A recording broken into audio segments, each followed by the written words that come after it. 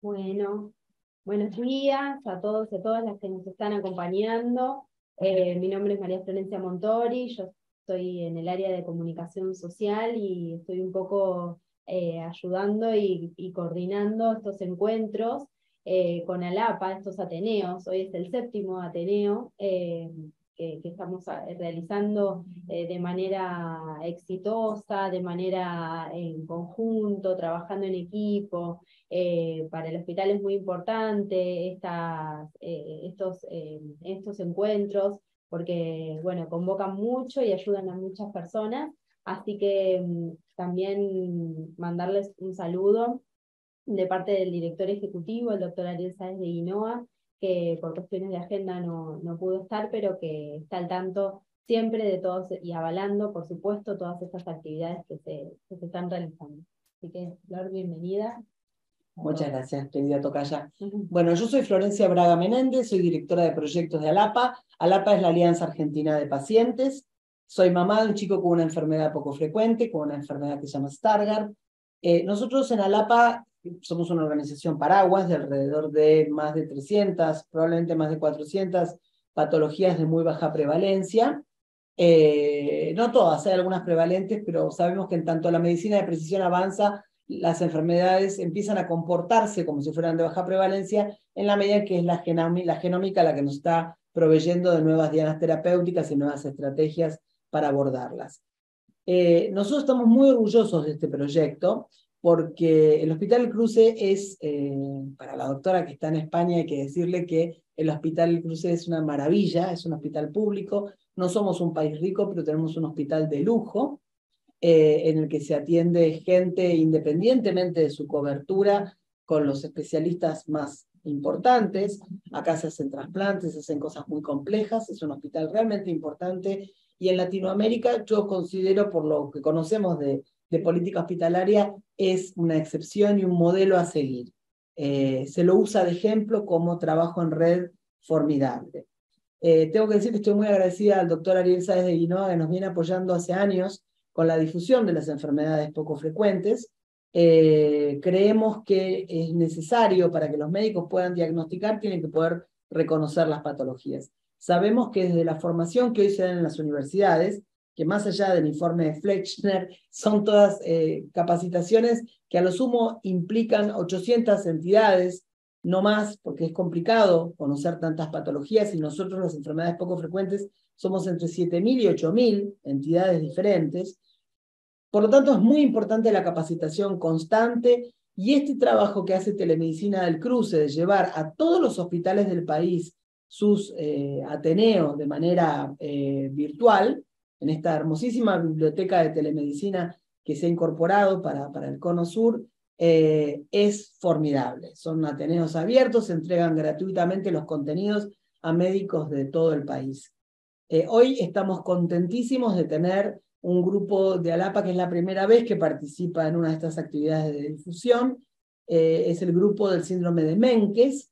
Es una enfermedad cruel, difícil, muy poco estudiada y conocida, pero que por suerte empieza a tener alternativas, por lo menos uno ve que los ensayos clínicos empiezan a interesarse. En Alapa creemos que es fundamental apoyar la investigación científica, que los investigadores no pueden estar separados de los médicos y de los pacientes, y estamos promoviendo diferentes formas de cooperación.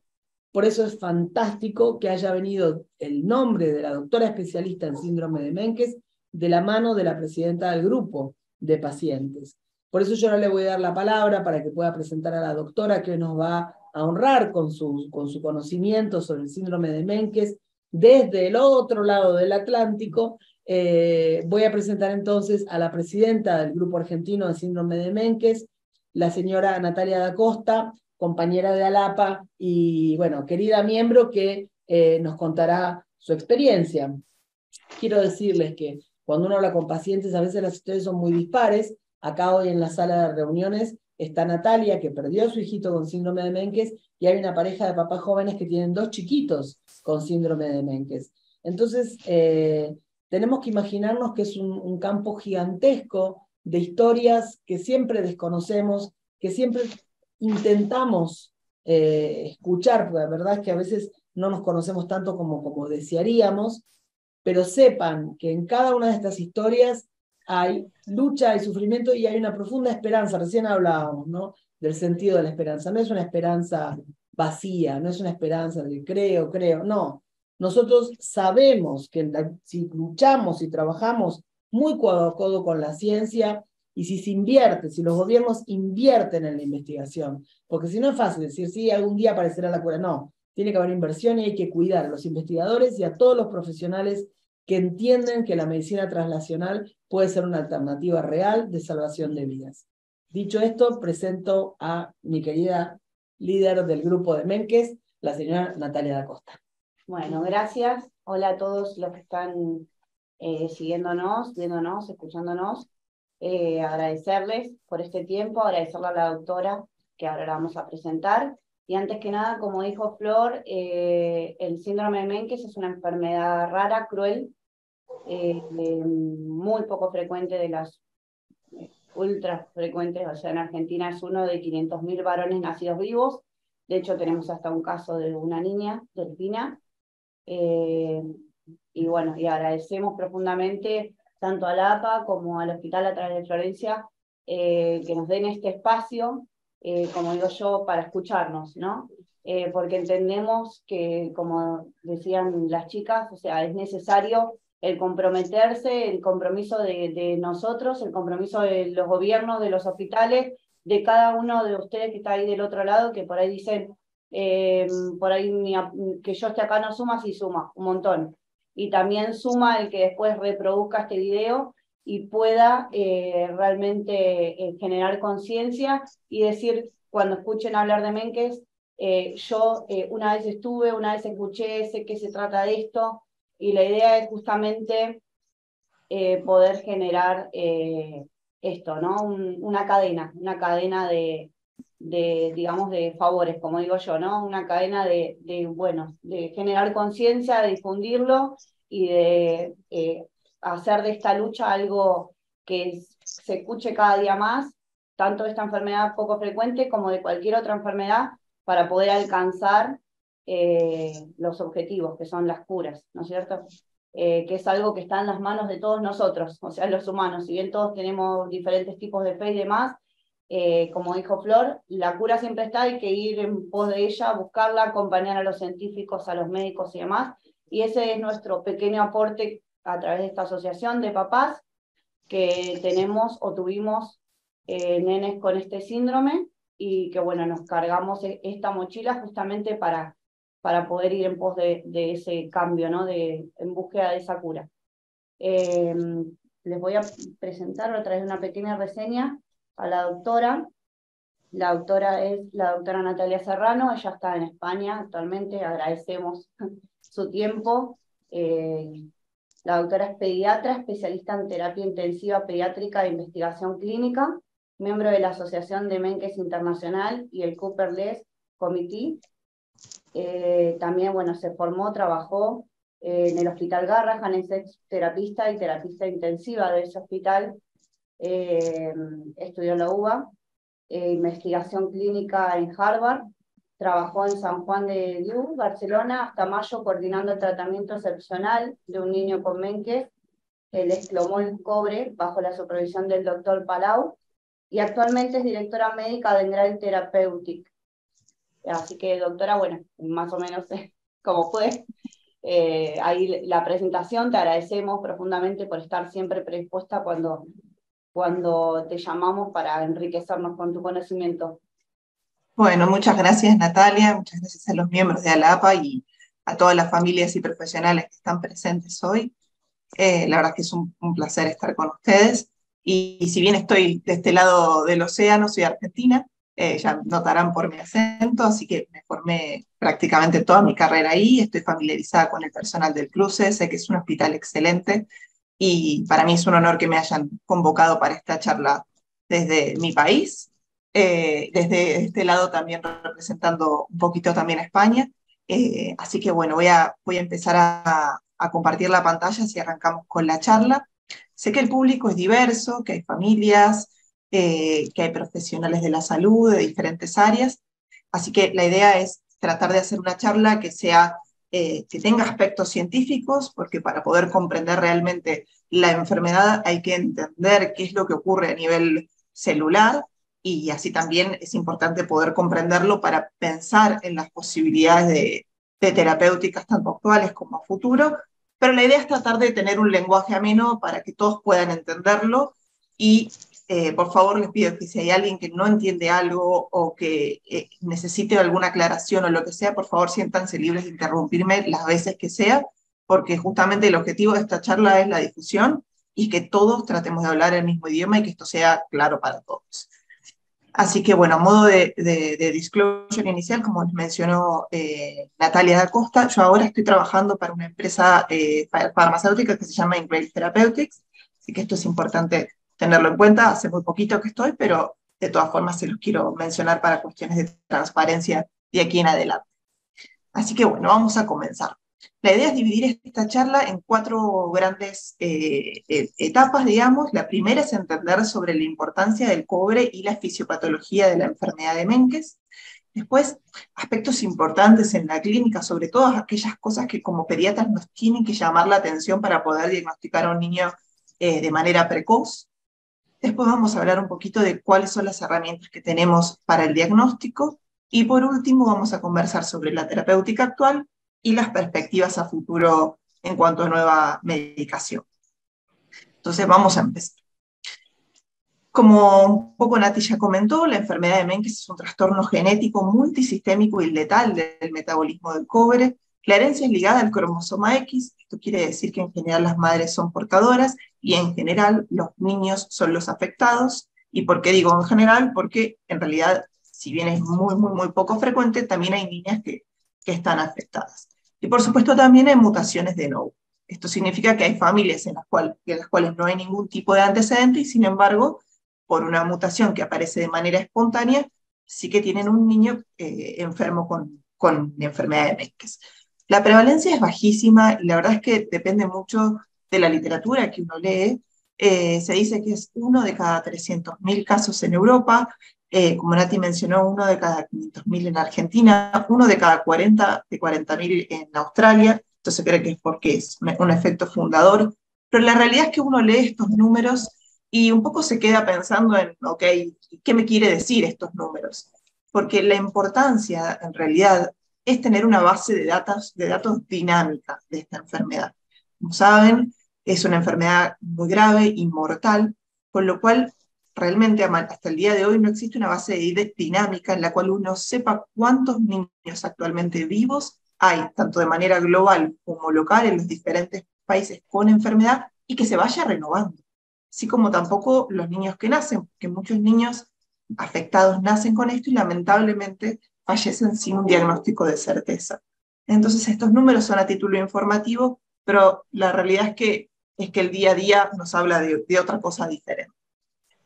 La causa de la enfermedad de Menkes es eh, una mutación en el gen ATP7A que codifica para la proteína con el mismo nombre, ATP7A, que es un transportador intracelular de cobre con actividad ATPasa, es decir, que requiere de energía. Pero bueno, vamos primero a lo primero. ¿Por qué es importante el cobre? ¿De qué sirve, digamos? Para empezar, es un cofactor en reacciones de óxido-reducción. ¿Sí? esto es muy importante para un montón de mecanismos intracelulares que dependen eh, de cobre y dependen a nivel como celular y molecular, muy, muy, muy pequeñito. Eh, el cobre en sí está también regulado por reacciones de óxido de reducción, que son reacciones químicas, y también está implicado en el, en el metabolismo del hierro, también en otras reacciones de óxido de reducción. es importante tener en cuenta que el cobre siempre tiene que estar unido a algo, porque el cobre libre es tóxico en el organismo una muy pequeña, o sea, ínfima proporción de cobre está libre y es ínfima. Siempre se tiene que unir a proteínas, a enzimas, chaperonas, etc. Y después, otra cosa muy importante que vamos a, a, seguir mencionando de acá en adelante en la charla, es que es importante el cobre porque es capaz de estabilizar a ciertas proteínas. ¿Ya qué proteínas son? Son las que se llaman proteínas dependientes de cobre o reguladas por cobre. ¿Qué significa? Que estas proteínas sin el cobre se degradan, ¿sí? no son viables. Em, es importante tener en cuenta que estas proteínas, estas enzimas, eh, se unen a cobre en diferentes lugares, en diferentes organelas dentro de las células, ¿sí? Y están ubicadas de forma muy particular adentro de las células.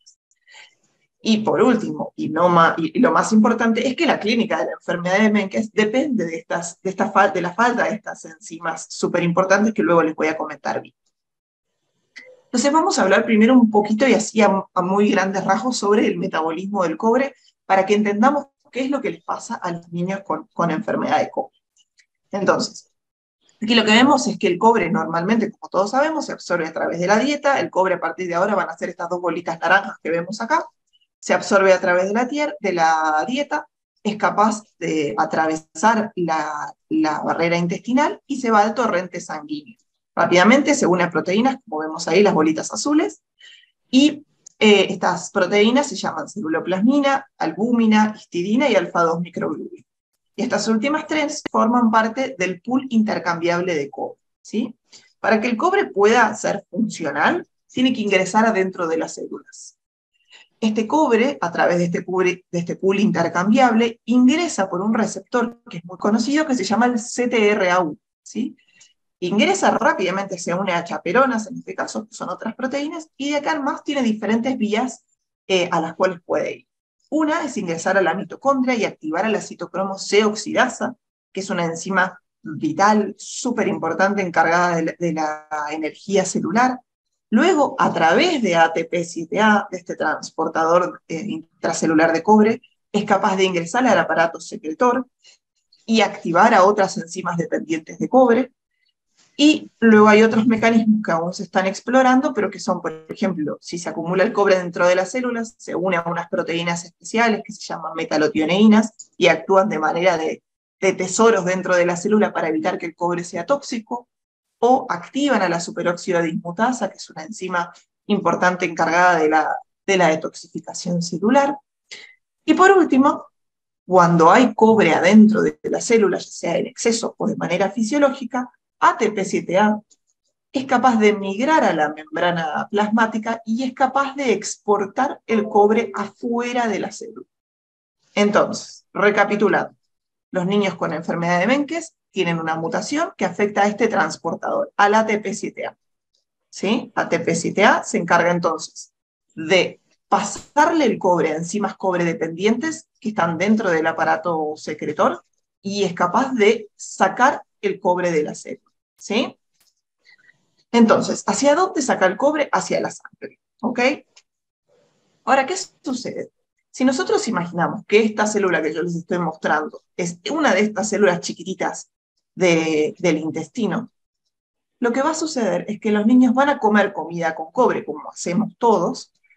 El cobre, que es esta bolita naranja, va a ingresar adentro de la célula, no va a poder eh, activar enzimas dependientes de cobre y tampoco va a poder salir a la sangre. Entonces, por ende, estos niños sufren también de imposibilidad de absorber el cobre de la célula y por ende tienen muy, muy bajo cobre o casi nulo en sangre. ¿sí? Como no tenemos cobre en sangre, ni siquiera el, cobre que se une a la, a, que ingresa dentro de la mitocondria y se une a la citocromosoxidasa es capaz de funcionar. Entonces sufren de un déficit profundo de cobre en, el, en, sangre y por ende en toda la economía, ¿sí? en todo el cuerpo. Ahora, nosotros podríamos pensar, perfecto, no lo pueden absorber de la dieta, bueno, administrémoslo de manera parenteral, subcutánea o, o endovenoso. Y esta la verdad es que es una buena alternativa. Eh, y de hecho es, parte de las alternativas de la terapéutica actual, que es el histidinato de cobre, que después les voy a comentar. Pero ¿qué pasa? En los niños con enfermedad de Menkes dijimos que no está el ATP7A, que está este transportador intracelular. Entonces nosotros, imaginémonos que damos el cobre a través de una inyección, a través sanguínea o subcutánea, va a ingresar al torrente sanguíneo, va a ingresar adentro de la célula, pero no va a poder ingresar, no va a poder ser transferido a enzimas dependientes de cobre, porque de todas formas estos niños tienen o ausencia total o parcial del transportador, y esta parte no la podemos solucionar, ¿sí? Y también, si hay un exceso de cobre, va a tender a acumularse en el interior de la célula y por ende va a, con el, en largo plazo, va a ser tóxico a nivel celular, ¿sí? Y por último, y ya subiéndole un poquito de complejidad, ¿qué pasa con el sistema nervioso central? ¿Qué pasa con el cerebro? Que es una de las cosas obviamente más importantes y de lo que más sufren estos niños. Que si ahora nos imaginamos que esta célula es una célula de la barrera hematoencefálica, que ¿qué es la barrera hematoencefálica? Es una barrera que justamente lo que hace es eh, proteger de alguna forma al cerebro, eh, porque es obviamente el órgano más noble de toda la economía, y la protege de tóxicos, ¿sí? Entonces esta barrera lo que hace es tener células que están pegadas una al lado de la otra y que impiden el pasaje de cualquier tóxico hacia el cerebro. Esto es un, sistema de supervivencia que tenemos eh, todos los, seres humanos, que obviamente nos, es muy beneficioso, pero que a la hora de hablar de terapéutica y de medicamentos, uno tiene que tener en cuenta, porque no, todas las, no todos los medicamentos son capaces de atravesar esta, esta barrera hematoencefálica. Y esto es un poco de lo que sucede con la terapéutica actual de cobre. Uno se imagina que esto es una célula de la barrera esta que les cuento, la barrera hematoencefálica, que vendría a ser una de estas células, ¿ven? Estas celulitas de acá, que, están, que son muy pequeñitas, que se juntan con estas de aquí y que se juntan con los, los pies, vamos a decir, de, de las neuronas, todo esto forma la barrera hematoencefálica. Entonces, si yo imagino que el cobre es inyectado subcutáneo o en la sangre, o endovenoso, digamos, y que por ende va a estar disponible en la sangre, voy a imaginar que el cobre va a estar aquí circulando en la sangre, va a poder ingresar a la célula, pero no va a poder salir. ¿Ven? Porque aquí está mutado a TP7A, no va a poder salir. ¿Y dónde no va a poder salir? Al cerebro, porque aquí están las neuronas. ¿Sí? Entonces, esto es un poco como para tener a grandes rasgos y eh, las bases de la enfermedad de Menkes y por qué uno puede pensar en una terapéutica o, o en otra para, para tratar la, la, enfermedad de Menkes. Entonces, de vuelta, no, eh, el cobre no va a poder llegar al sistema nervioso central porque va a depender de TP7A para cruzar esta barrera hematoencefálica. Bueno, muy bien. Vamos a pasar a la clínica, pero antes de pasar a la clínica, una breve pausa para que me hagan todas las preguntas que necesiten eh, sobre, sobre esta parte de, del metabolismo, si a alguien le quedó alguna duda. ¿No? De todas formas, si alguien lo piensa, al final volvemos a recapitular y me, me preguntan lo que necesiten. Entonces vamos a la clínica. ¿De qué sufren los niños con enfermedad de Menkes? Esto, obviamente, los padres aquí presentes serán los que más van a poder hablar de esto, pero de manera científica, de lo que sufren es de mala distribución del cobre, por todo lo que les conté antes. En el enterocito, en la célula del, del intestino, digamos, del aparato gastrointestinal, el cobre va a ingresar, pero se va a acumular ahí dentro y no va a poder salir a la sangre. Y por ende va a haber también de función de las enzimas que son cobre dependientes. ¿sí? Estas enzimas tienen un nombre muy raro, pero se las voy a nombrar algunas porque son las responsables de los síntomas de la enfermedad. La principal es la citocromosioxidasa, ¿sí? que es esta gran enzima que se encuentra en la mitocondria y que se encarga de la energía celular. Luego hay otro grupo de enzimas que se llaman las lisiloxidasas, que se encargan de formar la triple hélice del colágeno, y elastina, y por ende el tejido conectivo, que es el tejido que da soporte a, todo, a, todo, a todas las células, digamos. Entonces estos niños van a ser niños que sufran de trastornos en todo el cuerpo, ¿sí? a nivel eh, del tejido conectivo, que después les voy a contar. Otra enzima importante que, que también eh, está o disminuida o, o, de manera poco eficiente funcionando es la dopa beta hidroxilasa, que se encarga de, pasar de dopamina a noradrenalina, que es un neurotransmisor muy importante, la tirosinasa, que se encarga de, formar el pigmento, que es la, melanina, bueno, la plasmina y otras, otras eh, enzimas muy, muy importantes. Y luego, como les mencioné antes, otra cosa importante que, sucede en los niños con es que no puede pasar el cobre a través de la barrera hematoencefálica y que se tiende a acumular en los tejidos, excepto en el hígado, que ahí tenemos otro protagonista, que es el ATP7B, que ahora no, vamos a mencionar eh, por fines de tiempo de la charla, pero que, que sepan que en el hígado no se tiende a acumular el cobre. Entonces, dijimos que es una enfermedad multisistémica, porque dijimos que estas enzimas tan importantes están distribuidas en absolutamente todo el cuerpo. ¿sí? pero hay algunos aparatos o sistemas que son muy importantes y que me gustaría resaltarlos porque van a ser un poco los que nos van a dar las, las guías para el diagnóstico y los que nosotros como pediatras debemos sí o sí tener presentes. Uno es el pelo, que es un pelo muy particular, que quizás es, no, es lo más importante de la enfermedad, pero sí que hay que tenerlo en cuenta porque es como una de las claves diagnósticas, que se llama kinky hair. El pelo es nuevamente por falta de estas enzimas cobredependientes, en parte por, las sulfatasas y en parte por el déficit de tirosinasa. Eh, y es un pelo que, luego les voy a mostrar unas fotos, pero que tiende a torcerse sobre su propio eje y eh, presenta eh, como quiebres muy seguidos que lo que hace es justamente romperse y que por ende genera zonas de, calvicie o peladitas en diferentes áreas del cuero cabelludo. Pues les muestro una foto. Luego, de lo que más sufren estos niños es de alteración neurológica. ¿sí? Debido a que hay un profundo déficit de citocromo C oxidasa principalmente, estos nenes van a tener mucha hipotonía de predominio axial. ¿sí? Son nenes que eh, habitualmente, si logran tener algo de sostén cefálico, en general lo logran más tardíamente y suelen tener stops y regresiones en el neurodesarrollo.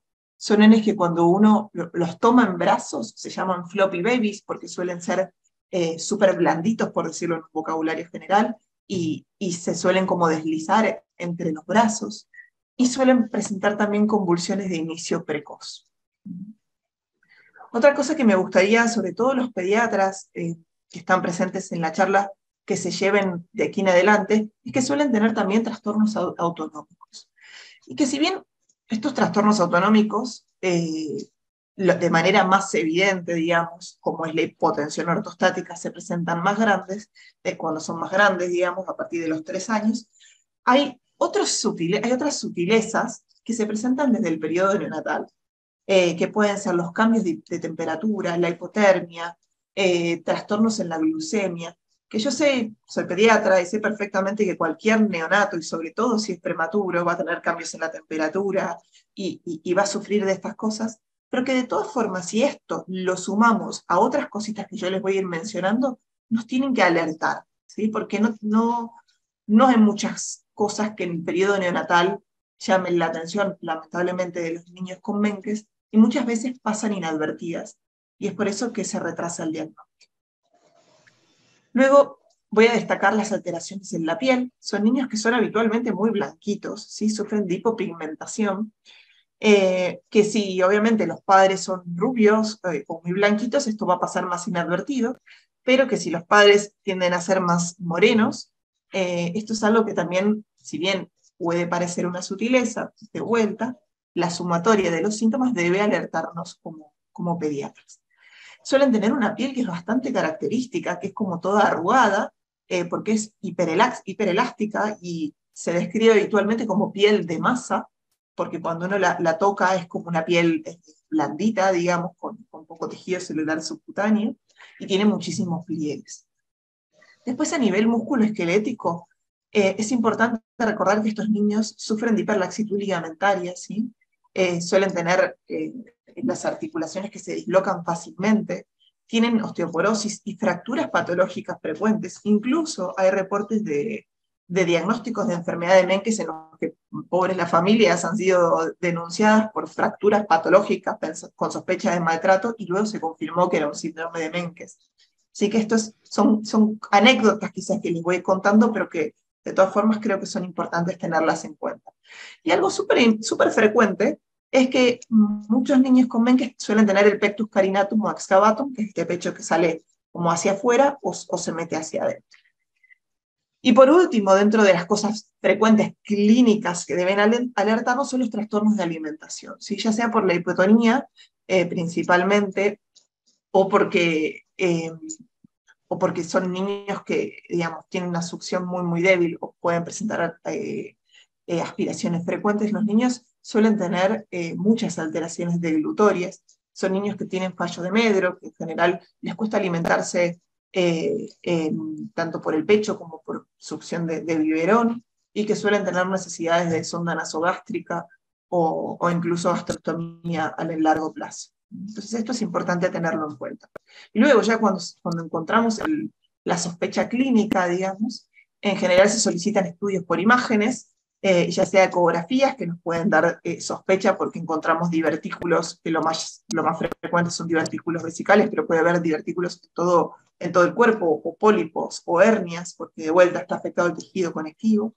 Eh, y otra cosa muy llamativa y muy característica de esta enfermedad es que cuando solicitamos una resonancia magnética del sistema nervioso central con angiografía, una angioresonancia, digamos, lo que se va a observar es tortuosidad vascular del sistema nervioso central. Y lamentablemente, sin un tratamiento, la literatura reporta que el fallecimiento es antes de los tres años.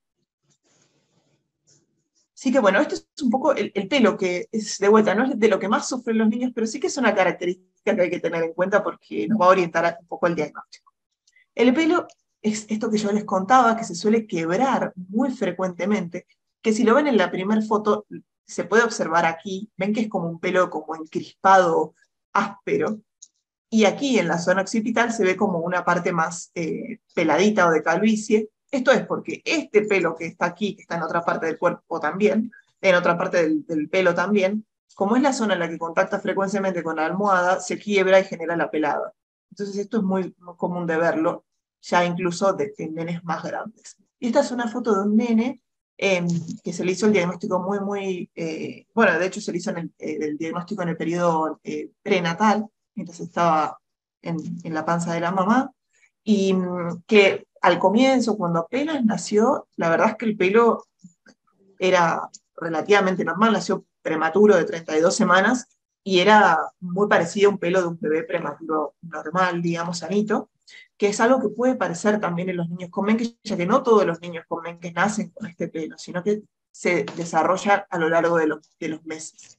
Y en este caso, este bebé lo empezó a presentar al mes de vida, que aquí algo se puede ver un poquito porque ven que está ahí, que es un pelo que es, es muy finito. Bueno, vamos a continuar con la tercera parte, que es el diagnóstico. ¿Alguna duda de la parte de clínica? ¿Algún papá que quiera hacer algún aporte? Hola, doctora. No sé si me escucha. Sí, perfectamente.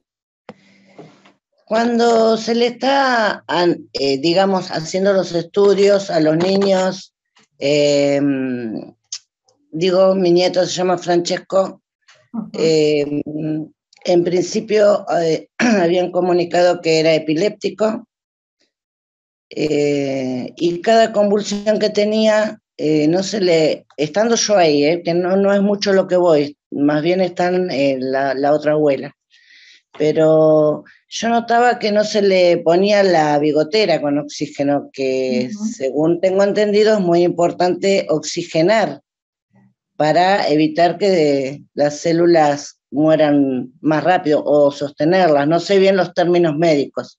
Sí, sí, tranquilo.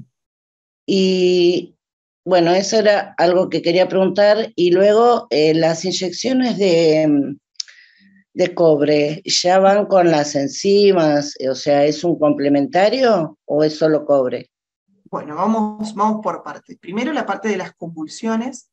Em, esto en general no, no, tiene que ver con la enfermedad de Menkes, sino tiene que ver con eh, el manejo de, una convulsión, de, ya sea cualquiera la, la etiología, digamos, Sí que está recomendado poner eh, oxígeno, alto flujo, pero la, verdad es que la, convulsión es un evento que es, es súbito, eh, una, urgencia, digamos, y que eh, los pediatras manejan de la manera más apropiada en, donde, en el medio en el, que, en el que estén. Desconozco cuál fue el caso de tu nieto o, o cómo, digamos, cómo fue el manejo, dónde o demás, pero en general esto no tiene mucho que ver con el pronóstico de tu nieto en cuanto a la enfermedad de Menkes. Si en ese, en ese momento se han salteado o han, digamos, se han retrasado en colocarle en ese momento el, oxígeno. Porque el, digamos, el daño que se produce en el cerebro en la enfermedad de Menkes es un daño por la, por la enfermedad, por la mutación que tienen y porque no le llega el cobre. Que el cobre es es vital, digamos. Sin el cobre los niños van a convulsivar, van a, van a, van a fallecer lamentablemente, porque es una de las cosas eh, digamos, no, es compatible con la vida no tener cobre. Eh, entonces, no es que eh, me, es muy difícil, digamos, saber qué ocurrió en ese momento o no, pero en sí no tiene que ver con el pronóstico de la enfermedad. ¿Sí?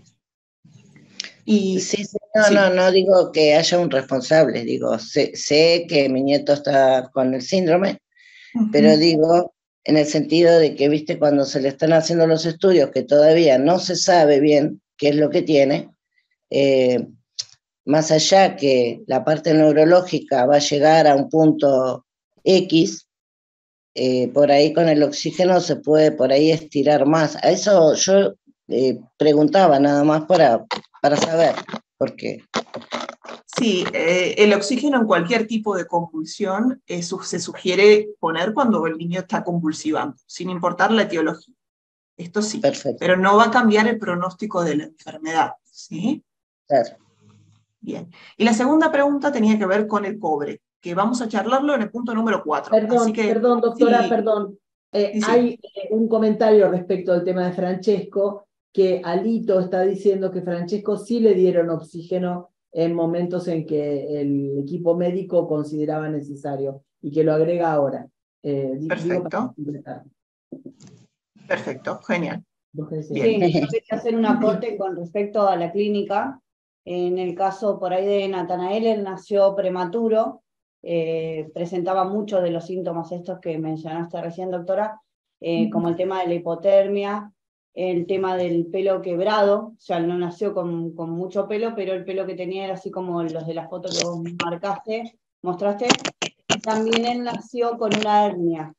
Y mm, eh, nos dijeron que la hernia era porque él eh, nació prematuro, porque, eh, bueno, yo tampoco mucho con los términos médicos, no, pero ah. estaba sentadito y rompió la bolsa de, de, una patada, supuestamente, y me decían que la hernia era producto de eso, hasta que, bueno, se supo que era Menkes y que las hernias son un síntoma. Sí, gracias Nati por tus aportes, la verdad, y, gracias Mónica por la pregunta. La verdad es que, eh, a ver, como pediatra yo también estuve del otro lado, ahora soy una experta en Menkes, pero la verdad es que una cosa aislada no, no, sugiere el diagnóstico. Eh, en realidad es la sumatoria de las cosas. ¿Por qué? Porque es cierto, eh, las hernias pueden aparecer en cualquier otro nene, la hipotermia o la disregulación de temperatura son súper frecuentes, sobre todo en los niños prematuros y en los neonatos. El tema es que uno, como pediatra, cuando conoce ya la enfermedad, es por eso que es tan importante esto que están haciendo ustedes de difundir la enfermedad, cuando uno la tiene en la cabeza, comienza a asociar todas estas pequeñas cositas que parecen sutilezas, pero que en la sumatoria no lo son. Y la sumatoria te llevan al diagnóstico. Sí, sí además lo, que nos, lo, que nos, pasó es, que nos llamaba la atención que al, correr de los meses nos sostenía la cabeza, y, pero siempre era porque era prematuro. O sea, lo que pasa, él va a ir más lento porque es prematuro y las respuestas siempre eran relacionadas a eso. Sí, sí, lamentablemente es, esto que, que, contás, Nati, es bastante frecuente. Yo hasta ahora he tenido contacto con más de 50 familias y lamentablemente el diagnóstico tardío es algo que es, es muy, muy, muy frecuente, básicamente. Eh, y en parte es por esto, porque falla la difusión porque hacer algo tan raro no pasa por ser bueno o mal pediatra, digamos, pasa porque quizás nunca en tu vida te, encontraste con un caso de Menkes, aunque seas el mejor pediatra del universo. Y si uno no lo vio, no lo recuerda, porque en los libros de medicina, lamentablemente, son dos o tres renglones los que se mencionan. ¿Me entienden? Entonces, esto es parte de lo que ocurre con las enfermedades poco frecuentes y es por eso que es tan importante lo que ustedes hacen de difundirlo, de, tener redes sociales, de estar, eh, eh, digamos, como asociaciones de padres siempre ahí al pie de cañón. Esto es importante porque si no se agrupan, esto no se difunde. Y hay que fomentar a la unión de padres, academia, que son los hospitales, digamos, y la industria también. Esto tiene que ser así y lamentablemente es granito de arena con granito de arena. Eh, pero, pero por eso es que es tan valioso porque quizás, y, ojalá alguien de esta charla, algún colega que me esté escuchando, quizás cuando nazca algún otro niño que tenga un pelo raro o que tenga un retraso eh, en, en, sostener la cabeza, como pasó con Natanael, quizás ya no espere y diga es prematuro, porque tal vez se dé cuenta, bueno, ok, le está costando sostener la cabeza, pero el pelo no es normal. Y uy, le pongo el termómetro y tiene 34 grados. Esto tampoco es normal. Entonces ahí quizás pueda hacer el diagnóstico antes. ¿Mm? Pero quiero dejar este mensaje también porque a veces es eso que, que, digamos, las cosas que son obviedades eh, y que parecen obviedades, cuando hablamos de una enfermedad poco frecuente, a veces no lo es. Entonces, eh, nada, hay que, hay que tener siempre la, alarma encendida y siempre conocer la enfermedad para poder pensarla, o sea, sospecharla, pensarla y diagnosticarla a tiempo. Ese es el, el, periodo de pensamiento, digamos. Buenos días, me presento, yo soy papá de Figueroa James y Figueroa Goja, mi señora. Bueno, nosotros tenemos actualmente que es muy poco, eh, bueno, acá en Argentina no hay somos, y en el mundo creo que no hay otro caso, eh, somos, tenemos dos nenes con vida que están, que tienen menkes actualmente. Eh, en un momento, bueno, se lo presenté, la, mencionamos a Palau y demás. Eh, nosotros, a James, que es el más grande, actualmente tiene cuatro años, no se lo diagnosticó con menkes recién hasta los pasados tres años.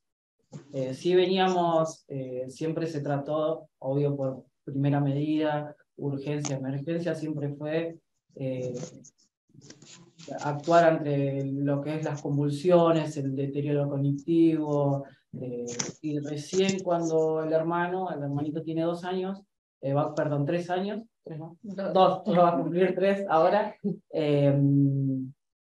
recién ahí es cuando nos diagnosticaron de alguna enfermedad genética eh, se sospechaba de una, de una enfermedad genética, justamente nosotros nos estaba atendiendo el neurólogo, el doctor Mauricio Pedersoli de La Plata, que él, casualidad de la vida, había hecho una tesis de Menkes y demás, y bueno, y medias cosas raras, pasa que nunca pudimos eh, abarcar el tema genético porque siempre era internación tras internación, para que se dé una idea, nosotros tuvimos alrededor de, en un año, 32 internaciones, justo acá en el hospital de clínica del niño acá de Kim, hay muchos equipos acá, de médicos que están ahí en la clínica del niño.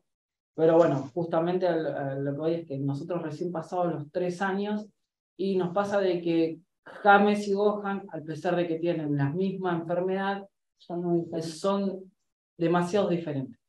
Pero diferentes en, en en el sentido de que eh, será que a Hoja bueno, se le aplicó insiniato de cobre eh, desde... ¿A qué edad? A los 11 meses. 11 meses y a James a partir de los 3 años.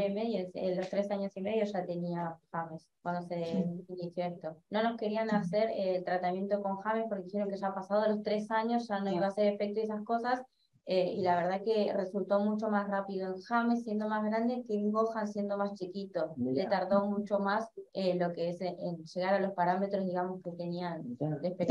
De hecho, ahora estamos en una lucha con el tema de los nenes ahora se están haciendo entender en el Garra. Eh, lo está atendiendo el doctor Gallo, el neurólogo doctor Gallo. Estamos con una lucha de porque eh, no sabe hasta cuándo le está haciendo bien el intimidato de cobre si la evolución que, tu, que tuvieron los nenes eh, fue realmente por el intimidato de cobre o fue por todos los anticonvulsivantes, la medicación y todo eso. ¿Qué edad tienen ahora? ¿Cómo? ¿Qué edad, tienen ahora? James va a cumplir ahora en septiembre, cumple cinco, y Gohan... En, dos años y medio. Dos años eh, estamos con que, eh, bueno, el, doctor no sabe si le está haciendo bien y nuestra explicación respecto al intimidato de cobre es que James estaba de una manera, eh, si bien venía bajo peso y demás, el botón gástrico fue un cambio para James. Eh, James actualmente, bueno, tiene mucha medicación, más aceite canario, en ese tiempo tenía dieta cetogénica, eh, y bueno, y eso hizo que engorde. Pero el, después de las inyecciones de, de de cobre, fue un avance hasta el día de hoy que con las medicaciones no tenían, de hecho se, se ha quitado medicación de a James eh, por eh, la mejoría que tuvo a través de, de la inyección de istiniato de cobre. Mi otra consulta es, eh, bueno, le contamos, y mi consulta es, ¿cómo podemos saber nosotros hasta qué margen, si hay algún estudio o algo de eso, le hace bien el istiniato de cobre?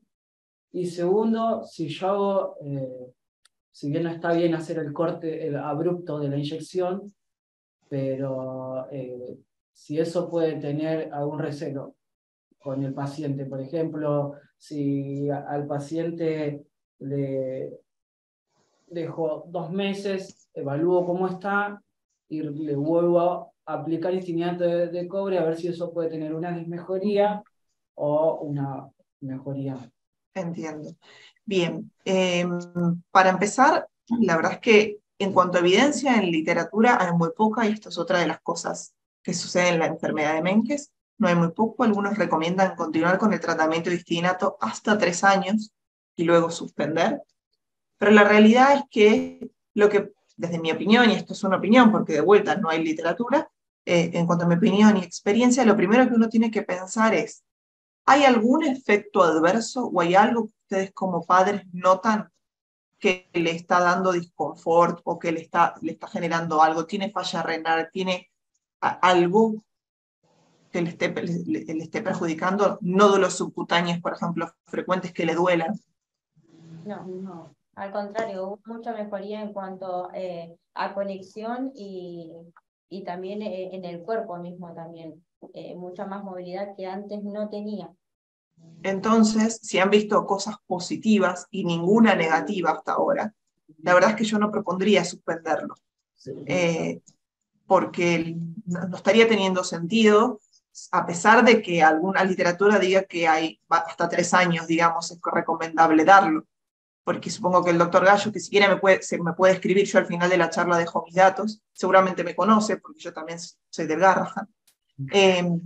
Pero si no, seguramente lo, están monitorizando en cuanto a función renal y niveles de cobre. Y de vuelta, si no hay signos de toxicidad, si no hay signos de alarma y han visto mejorías, no, no me parece que, que sea prudente quitárselo volvérselo a poner o, o, directamente pensar en suspenderlo. Ahora, distinto es el escenario en el que, si por ejemplo ustedes me plantean que eh, sufre mucho por las inyecciones o que se está comenzando a ver algún daño a nivel renal o que hay algunos nenes, por ejemplo, que tienen muchos nódulos en los sitios de inyección y eso les genera dolor. Entonces, si es alguno de esos casos, es para pensar riesgo-beneficio. Pero si no tiene nada de eso, la verdad que no, yo no lo suspendería. Acá, perdón, acá eh, hay una persona que pregunta por los dos hermanitos, dice, ¿con qué se están alimentando? ¿Podrán informar la dieta? Y deja su celular para poder pedir información a esos papás, porque tiene problemas con la alimentación de Francesco, a la abuela de, Francesco. Yo ahora les paso, le paso el contacto y el de la doctora también. ¿Con qué están alimentando chicos? Eh. Estuvieron en principio James con dieta cetogénica, que la verdad que vino bastante bien. Eh, logró parar lo que son las convulsiones, pero después de cierto tiempo la suspendieron porque ya había cumplido su ciclo eh, y ahora se están alimentando con leche febril original y fibra. Lo está manejando la nutricionista. Y... Bueno, eso es importante que lo regule la... Sí, claro. De hecho, la dieta cetogénica en James empezó eh, a los seis meses. Sí, más o menos. A los seis meses que no era, no era, recomendado. No era recomendado, sin embargo la nutricionista de, del Ludovica, María Ser Ludovica de la Plata, decidió continuar por para que se dé una idea, eh, James hacía microconvulsiones, espasmos, y llegaba a ser alrededor de 132 eh, microespasmos, eh, perdón, espasmos, y por eso decidió avanzar. De hecho, eh, después del, hemos llegado a tener 5 espasmos al día, que 132 a 5 espasmos, es mucha la diferencia. Tenía la idea de arrancar con el cannabis, pero en su momento no era legal todavía, entonces eh, la obra social nos había rechazado el pedido de, cannabis porque había otra alternativa que era la dieta cetogénica, así que que por necesidad, digamos, causa-consecuencia, decidimos avanzar con la dieta a pesar de que ya no era recomendado, eh, pero la verdad que le hizo bastante efecto, como dijo él, disminuyó muchísimo hasta que cumplió su ciclo, eh, y bueno, igual de todas formas después pudimos eh, empezar con el cannabis todo, se suspendió la dieta y arrancó con esto, como le comentamos a la señora, de la febril, arrancó con la, leche para enterar, común. Claro, con enterar. Bueno, ¿alguien más eh, quisiera hacer algún aporte, sobre todo en cuanto a, la clínica, para luego pasar a diagnóstico y tratamiento? Bueno, continuamos. Bien, seguimos entonces con el diagnóstico. Em, bueno, la verdad es que el diagnóstico es difícil en el periodo neonatal, esto es lo que les comentaba antes, pero hay que tener en cuenta esto, que si hay un bebé hipotónico aquí está, acá está mal escrito, hipertérmico no hipotérmico, eh, con alteraciones en la alimentación, que es muy blanquito y que tiene el pelo raro, acá es cuando hay que encenderse la alarma, ¿sí? En cuanto a los neonatólogos sobre todo y, los pediatras que, que estén acá presentes. Después ya comienzan a aparecer el retraso en la adquisición de pautas neuromadurativas, ¿sí? que les cuesta sostener el cuello y demás. Pero ya acá estamos hablando de que estamos tardíos, por lo menos para el tratamiento actual. Entonces, las cosas más importantes a, tener en cuenta en el periodo neonatal es la hipotonía, las alteraciones de la temperatura con tendencia a la hipotermia, alteraciones en la alimentación, hipopigmentación y las alteraciones del pelo. Si un bebé tiene algo de esto, lo primero que hay que solicitar es un análisis de sangre con niveles de cobre y ceruloplasmina y, muy importante, sobre todo en el periodo neonatal, niveles de catecolaminas. ¿Qué catecolaminas? Dopamina, noradrenalina y adrenalina. Si no tengo para medir esto, pido en orina los productos de degradación, que son el ácido vanilín mandélico y el ácido homovanílico. ¿sí? ¿Por qué digo que sobre todo en el periodo neonatal? Porque a veces los bebés suelen, los recién nacidos suelen tener niveles de cobre bajo y esto es esperable, fisiológico, digamos. Sin embargo, si como pediatra encuentro un alto eh, ratio, una alta relación entre dopamina y noradrenalina o sus productos de degradación, esto, sumado a la clínica, es prácticamente confirmatorio de Menkes. ¿eh? Así que con esto yo ya puedo empezar a tratar a los bebés, sin esperar a lo genético, porque lo genético, que si bien es el diagnóstico confirmatorio, en general tarda. Cuando tarda, estamos hablando de que suele tardar como un mes y ya se me está pasando la ventana terapéutica. Así que con la clínica y la bioquímica puedo empezar a tratar. Y después otra herramienta importante que no se hace en todos lados son los estudios funcionales de ATP7A. Es ver si esa mutación es severa o no tan severa y si deja algo de función del transportador de cobre. ¿Por qué esto es importante? No es que me va a cambiar en sí el pronóstico, pero me va a ayudar a saber si, a entender en realidad si un nene responde mejor o no a una medicación. Entonces vamos a hablar de la terapéutica. Lo que está actualmente disponible eh, es el histidinato de cobre.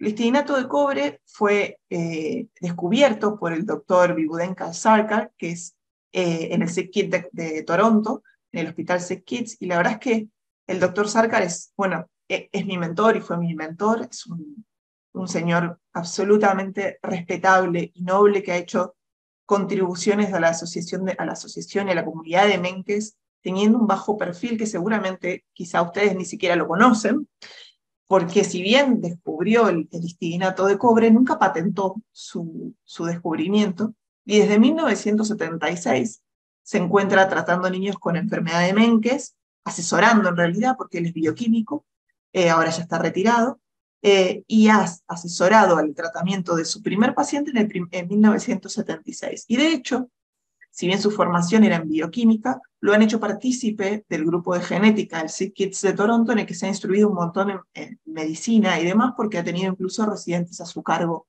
eh, a propósito de, del tratamiento de niños con enfermedad de Menkes con el histidinato de pobre.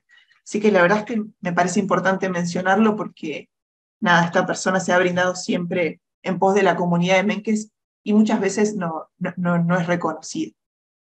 Así que bueno, estamos hablando que si el primer caso de enfermedad de Menkes eh, se empezó a tratar en el 76, estamos hablando de casi 50 años de tratamiento con el histidinato de cobre. Y la realidad es que si viene muchísima bibliografía, la evidencia es actualmente controversial en cuanto a su eficacia. Doctora, antes de que pasemos, le quiero decir que nosotros estamos haciendo justo esta semana, estamos cargando los próceres desconocidos del mundo de la investigación y de la salud que han aportado al conocimiento y a la terapéutica de enfermedades poco frecuentes.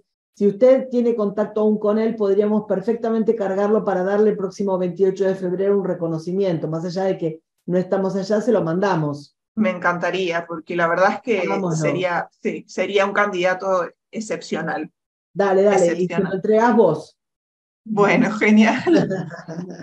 me encantaría. Perdón, me callo. no, no, gracias por la, el aporte. Em, bueno, la realidad es que hay muchísima bibliografía eh, publicada en cuanto al, tratamiento con histidinato de cobre, eh, pero no, no hay ensayos clínicos de calidad y es por eso que la evidencia en cuanto a su eficacia realmente es controversial hasta el día de hoy. Y también es por eso que si bien es considerada una medicación para enfermedades huérfanas, no está aprobado todavía el histidinato de cobre. No está aprobado ni por la FDA ni por la EMA como tratamiento en sí, como medicamento. Entonces, ¿qué sucede con esto? los países, según la política de cada país, lo legisla como, como quiere, digamos.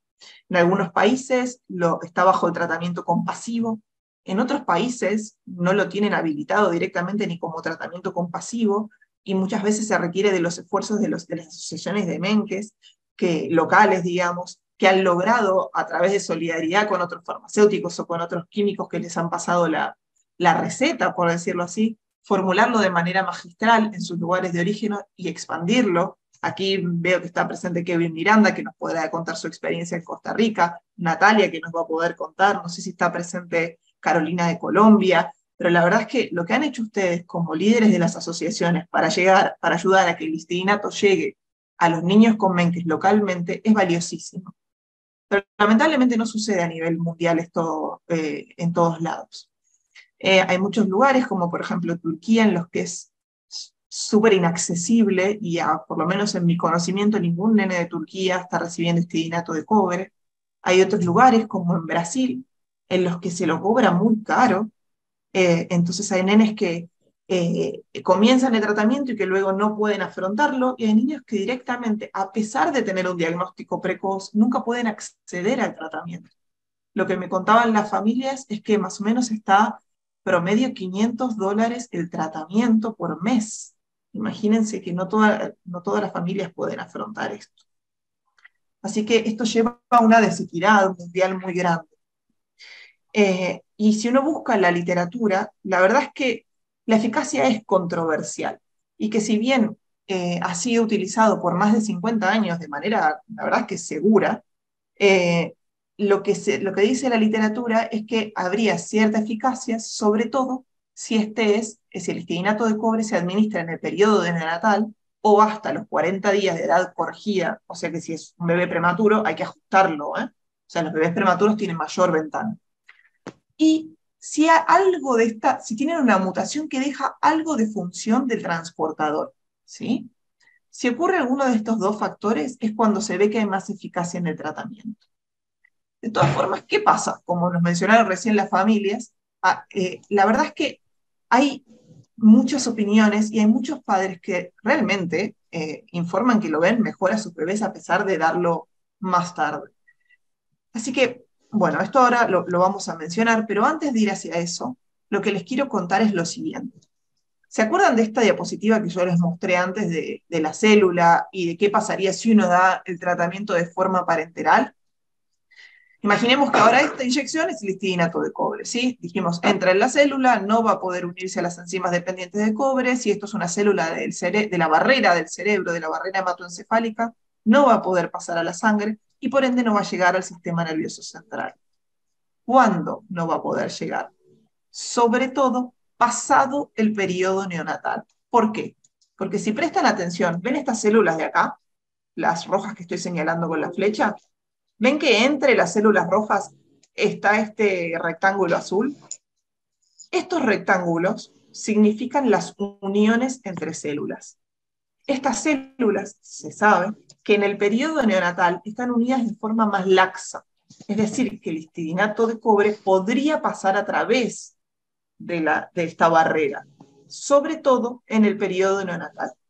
Y cuando los nenes comienzan a crecer, estas uniones, que esto sí que se sabe, se, se forman más, son más estrechas, ¿sí? Y hacen que esta barrera sea más impermeable. Es por eso que se sabe que el histidinato de cobre, cuando son los nenes más grandes, pierde eficacia. Entonces es por eso que la literatura recomienda que se administre en el periodo neonatal. Pero bueno, ¿qué pasa? La verdad que hablando con las familias, ustedes mejor que nadie me pueden contar su experiencia. Yo he interactuado hasta ahora más o menos con 50 familias y la verdad es que eh, lo que me han contado del histidinato, por, por algún lado resulta positivo, por otro lado no tan positivo, pero la mayoría de los pacientes, aún a pesar de que se les administró fuera del periodo neonatal, responden que lo ven mejor, que tienen menos convulsiones por día o que lo ven más vinculado con el entorno. Algunos advierten algo de cambio en el pelo, pero algunas otras familias dicen que no, que han decidido sacárselo porque creían que no hacía efecto. Como en Brasil les conté, algunos se los, lamentablemente se lo han sacado porque es muy caro o porque en el país no estaba permitido. Así que esto es un poco la realidad del estinato de cobre. Eh, y actualmente sé que hay una empresa que se llama Cyprium Therapeutics que está eh, haciendo un ensayo clínico en Estados Unidos y que, bueno, esperemos que, que se observen resultados pronto para poder hablar con mayor calidad científica de lo que está ocurriendo. Eh, pero lo que sí sabemos es que ya con más de 50 años de experiencia, al menos efectos adversos graves no hay, y eso a mí como pediatra me alentaría a, indicarlo, a pesar de que se me haya pasado el periodo de los 40 días neonatales. Al menos intentarlo si se puede. Y obviamente si la familia está de acuerdo. ¿sí? En cuanto a la posología, lo que está descrito en la literatura, escrito por el doctor eh, Kaller, que es eh, Stephen Kaller, es uno de los autores principales de, del histidinato de cobre, a, pesar de que no fue el que lo descubrió, así que es un investigador que ha trabajado muchísimo en esta medicación, es que los nenes menores de un año se aconseja dar 250 microgramos cada 12 horas y los mayores de un año cada 24 horas. La vía de administración es subcutánea. Em, la administración en general al comienzo es hospitalaria, pero no porque requiera gran complejidad, sino más bien porque hay que entrenar a los papás a que a que puedan administrarla ellos mismos de forma subcutánea en casa y hacer los primeros controles de cobre. Eh, entonces, solamente por eso. Después ya los padres eh, saben administrarla perfectamente en casa. Los controles son principalmente medir cobre, ceruloplasmina, medio interno y función renal, que la función renal es algo importante a vigilar, porque se sabe que el cobre a largo plazo genera sobre todo tubulopatía renal, que es uno de los principales eh, efectos adversos del cobre a largo plazo, y eh, otra cosa frecuente de aparición son estos nódulos subcutáneos. Pero después el resto no han habido grandes, eh, grandes efectos adversos, por suerte. Así que lo importante, el mensaje para llevarse de aquí es que no hay que retrasar el tratamiento, que cuando un pediatra tiene la sospecha clínica más la bioquímica, hay que, hay que comenzar con el tratamiento histidinato de cobre, o por lo menos esa es mi sugerencia. No esperar al genético necesariamente si uno está monitorizándolo. Eh, ah, y antes de pasar a esto, me gustaría mencionar eh, a, la doctora Laura Guzmán, que Natalia la, conoce, la conoce perfectamente, y que es una farmacéutica de cobre del, de Córdoba, perdón, del CONICET, y esto a modo de reconocimiento, que la verdad que eh, la enfermedad de Menkes nos ha unido, no, ella es argentina, yo también, pero no nos conocíamos antes de, de estar las dos presentes en este medio. La verdad es que está haciendo un trabajo excepcional con el histidinato de cobre. Bueno, en Argentina quizás ya ustedes la, han escuchado nombrar, pero está colaborando muchísimo con sobre todo Sudamérica. Así que nada, esto es a modo de reconocimiento antes de pasar a, a otra terapéutica, porque la verdad que somos muy pocos en, en, estas comunidades chiquititas y me parece que es importante que, que nos mantengamos unidos y que, y que reconozcamos el trabajo de todos. Así que bueno, ¿alguna duda del el histidinato de cobre? ¿Alguna pregunta? Yo tengo una duda. Eh, yo estoy acá fuera de cámara, pero estoy Eh, mi duda tiene que ver con otras patologías vinculadas al déficit de cobre. Eh, ¿El Menkes tiene, ay, gracias, tiene relación en algo con el Wilson, por ejemplo? Bueno, en cuanto a la clínica, vendríamos a ser prácticamente opuestos. El ah. Wilson tiende a acumular cobre, al Menkes le falta cobre. El ah. Wilson se da por una mutación en un transportador de cobre que se llama ATP7B, ¿sí? que tiene la, misma función pero en el hígado y que se encarga de sacar el cobre de la célula hacia la bilis principalmente. Entonces, ¿qué les pasa a los, a los pacientes con Wilson? Acumulan cobre, principalmente en el hígado, o sea, en la sangre obviamente, en el hígado y en el cerebro. Entonces ellos sufren de toxicidad del cobre, mientras que los menques sufren de déficit de cobre. Entiendo. ¿Y hay, hay diagnósticos diferenciales que uno pueda tener en cuenta? Nosotros tenemos un montón de papás que creen tener diagnóstico, pero a veces de golpe descubren que era algo que estaba pegadito y se confundía. ¿Cuáles son los diagnósticos diferenciales con Menkes? En cuanto a la clínica, sí que hay muchos diagnósticos diferenciales, ¿sí? porque todo lo que son eh, enfermedades neurológicas, eh, pero de, cualquier tipo, ¿eh? porque cualquiera que genere convulsiones, que estamos hablando de un mundo inmenso, ya sea de enfermedades raras como de enfermedades frecuentes, como de intoxicaciones, puede ser diagnóstico diferencial. Pero si le sumamos lo bioquímico, que es que tengan bajo cobre o ceruloplasmina, o las, las catecolaminas, ahí sí que se nos achica el, el embudo, digamos. Ahí no estamos hablando de muchas entidades, ahí estamos hablando de síndrome del cuerno occipital, Hapkel-Brendel, que es una enfermedad, o sea, si, si ven que es rara, Hapkel-Brendel es rarísima, digamos, hay siete pacientes en el mundo, y enfermedad de Menkes. Entonces, siempre que, que clínicamente se tenga algo de sospecha, una analítica de sangre y pedirle un cobre y las catecolaminas no le van a hacer mal a nadie. Y eso ya hace que lo que es grandísimo se achique así. ¿Me entendés? Perfecto. Gracias. No, por favor. ¿Alguna otra duda?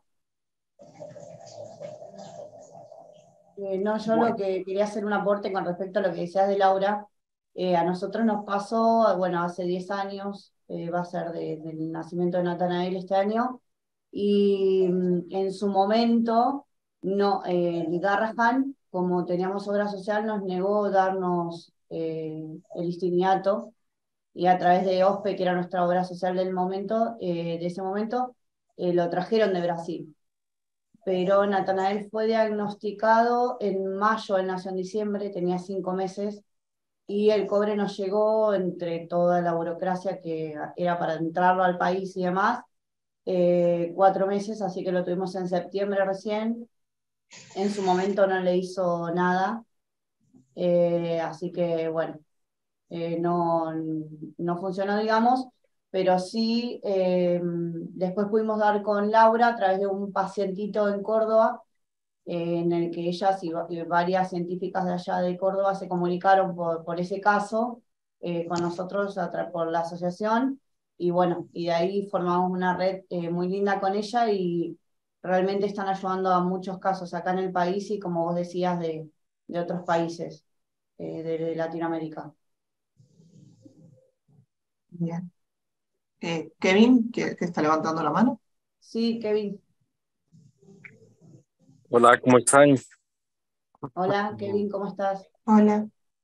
Bien, todo bien. Bueno, muy contento de estar por acá, de ver a Nati, eh, a doctora Serrano, a doña Flor, estamos todos juntos, ¿verdad? Creo que es la primera ocasión que estamos todos reunidos por acá. Eh, y básicamente, bueno, darles las gracias por este espacio eh, y también tal vez contar un poquito de la historia de Mariano, bueno, ya lo que es la doctora Serrano y, Nati la conocen muy bien.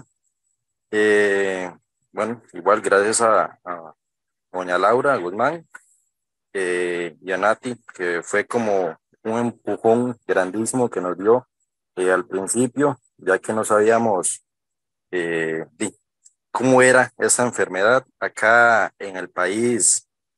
Y Marianito es el primer caso hoy en día. Eh, al principio, bueno, como todo paciente de Menkes, vimos convulsiones, visitamos al centro médico, era de esperarse, ¿verdad? Que no, no sabíamos qué era lo que tenía Mariano.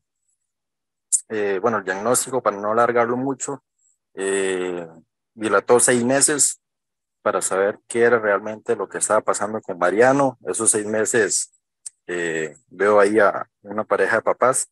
En esos seis meses las convulsiones no cesaron. Eh, con su tratamiento anticonvulsivo seguían igual o peor. Este, no hubo manera de controlarlas.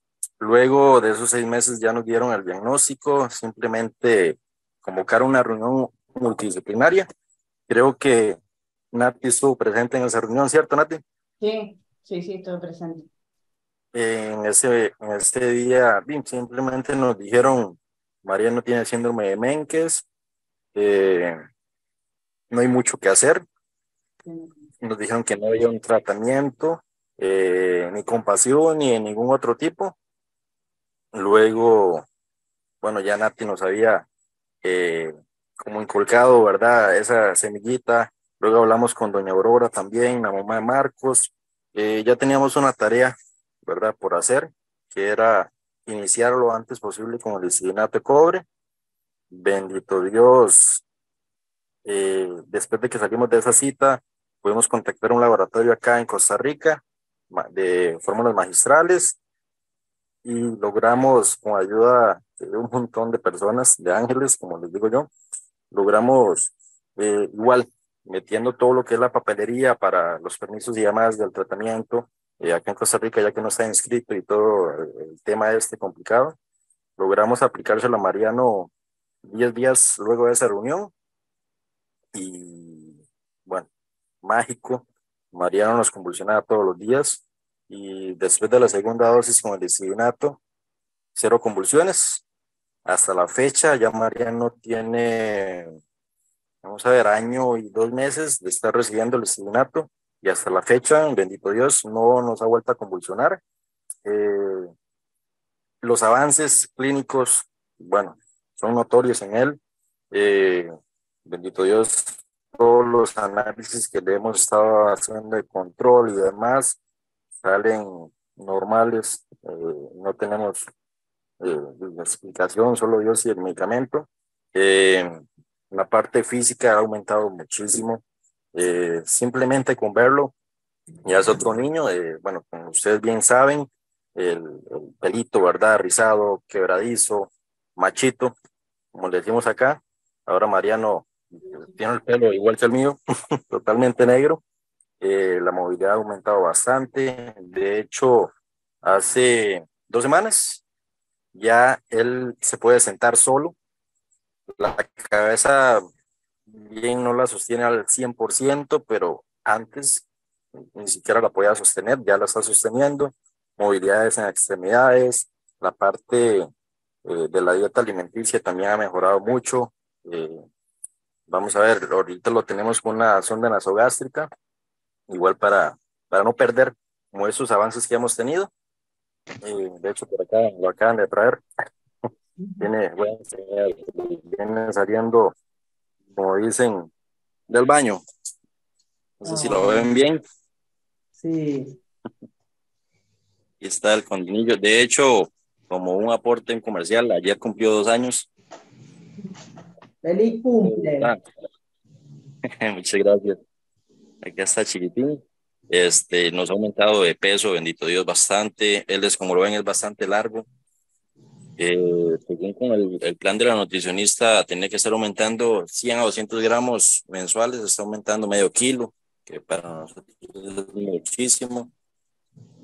Eh, él tenía periodos de críticos de la alimentación, que nos bajaba de peso muchísimo, venían vómitos, eh, no retenía lo que es la, las fórmulas, muchas complicaciones, sin embargo, ya ha estado muy bien, estado muy bien y ha sostenido mucho lo que es eh, esa parte alimentaria que es muy importante en, estos, en chicos. Eh, y no, también como para comentarles, que Menkes, bueno, como todos bien saben, es una enfermedad bastante, bueno, poco usual, eh, bastante difícil de diagnosticar. Cuando ya tiene el diagnóstico, viene la otra parte, que es la medicación, que es complicadísima también. Eh, y también que no todo, bueno, la doctora Serrano nos puede explicar un poquito más. Bueno, a lo que yo tengo, el poquito conocimiento que tengo, no he visto un caso que sea igual a otro. Todos son totalmente distintos. He leído por ahí que hay hasta 200 variantes, eh, y lo pone a pensar ahí. Hace cinco meses hubo un segundo caso acá en Costa Rica. Adriano se llamaba el niño. Eh, Dios, nosotros con todo el traje que hicimos para poder tener el sinato acá en Costa Rica, ya Adriano lo pudo recibir inmediato. No tuvo que esperarse tanto tiempo, ¿verdad? Como, al principio. Eh, sin embargo, estaban muy contentos porque era una posibilidad. Él tenía más posibilidades, por decirlo así, que Mariano, porque recibió tratamiento más pequeño, eh, estaba con las cuidados un poquito más desde el inicio, por decirlo así. Eh, sin embargo, Adriano falleció a los nueve meses de edad. Eh, entonces, eso lo deja uno con esa intriga, ¿verdad? Que, que todos son distintos, todos son totalmente distintos. A Mariano, los doctores nos decían que, bueno, Mariano recibió el 11 meses, de 11 meses adelante de edad, que era demasiado tiempo, que no le iba a funcionar, que X y Y. Nosotros decidimos intentarlo por un mes y mira, este mes fue mágico y hasta la fecha, eh, Di Mariano no solo se ha estancado ahí con la enfermedad, sino que iba avanzando a paso lento, pero, pero constante. Y bendito Dios, ya hoy por hoy tenemos seis meses de que si visitamos un centro médico es por citas de control, ningún tipo de crisis ni emergencias. Entonces eso es de, mucho agradecer, ¿verdad? Eh, principalmente acá a Nati, a la doctora Verano, que nos han impulsado bastante, informándonos, eh, empapándonos mucho del tema. Nosotros acá estamos, como dicen, solitos, eh, solo mi esposo. Sin embargo, nos hemos dado la tarea de, bueno, creo que algunos nos siguen en la página de acá, de dar a conocer. Yo cada vez que voy a algún centro médico, veo a algún doctor, saco mi tiempo para hablarles de la enfermedad, para que sepan eh, si tiene X o algún paciente a futuro, ojalá que no haya ningún niño más con Menkes, pero si llegara a ver... No se entiende mucho. No se entiende no mucho. se entiende. Habla más cerca del micrófono porque si no, no se entiende mucho. Se empezó, acá por lo menos se empastaba el sonido. Ok, ok. ¿Me dicen si ahí se escucha bien? Mejor. Sí, perfecto. Ok, ok. Lo que le decía era que cada vez que yo voy a algún centro médico o, o hablo con algún doctor de acá del país, eh, yo trato de sacar el tiempo para empaparlos un poquito de Menkes, por lo menos hablarles, eh, que si yo sigan en la página, vean la información, porque es muy importante, ya que espero que no haya ningún otro caso de Menkes, pero si hubiese, por lo menos que lo diagnostiquen antes, con tiempo, eh, ya el medicamento está en el país, ya está de hecho inscrito en la caja de seguro social, eh, tenemos acá eh, doña Ana, que es la farmacéutica que lo, lo, elabora. Entonces, digamos que ya no hay trabas para poder recibir el tratamiento de, inmediato, eh, que es algo que, al, principio a nosotros nos costó mucho. Yo te tengo que hacer una pregunta. Claro. Eh, ¿Estás en contacto con la Alianza de Enfermedades Poco Frecuentes de Costa Rica? Vieras que estoy con varios grupos por acá. Este, bueno, esta Fundación de Enfermedades Raras de Costa Rica sí, eh, tengo contacto con doña Diana, tal vez vos la conoces. Diana, Diana es mi amiga, claro, te iba a pasar el contacto de Diana, pero listo, era eso nada más. Perfecto, sí, sí. Gracias. Acá hay un comentario, acá hay un comentario, el comentario es de Noé Robles, que dice, mi bebé diagnosticado súper rápido en 27 días en el hospital, el, hospital trabajó de la mano, ah, trabajó de la mano de Nati eh, recibió su cobre y la, el hospital trabajó de la mano de Nati. Recibió su cobre y la verdad él tenía cambios increíbles, su cambio era maravilloso. Ivanina dice, pregunta, si el cuerpo no absorbe el cobre, ¿cómo podemos estar seguros que suministrando cobre no aceleramos la enfermedad? ¿Puede acumularse lo que nosotros suministramos en el suministramos riñón, en el riñón y, su, y su estadía, su estadía, su, bueno, sí, sí, su, su perspectiva de vida sea más corta?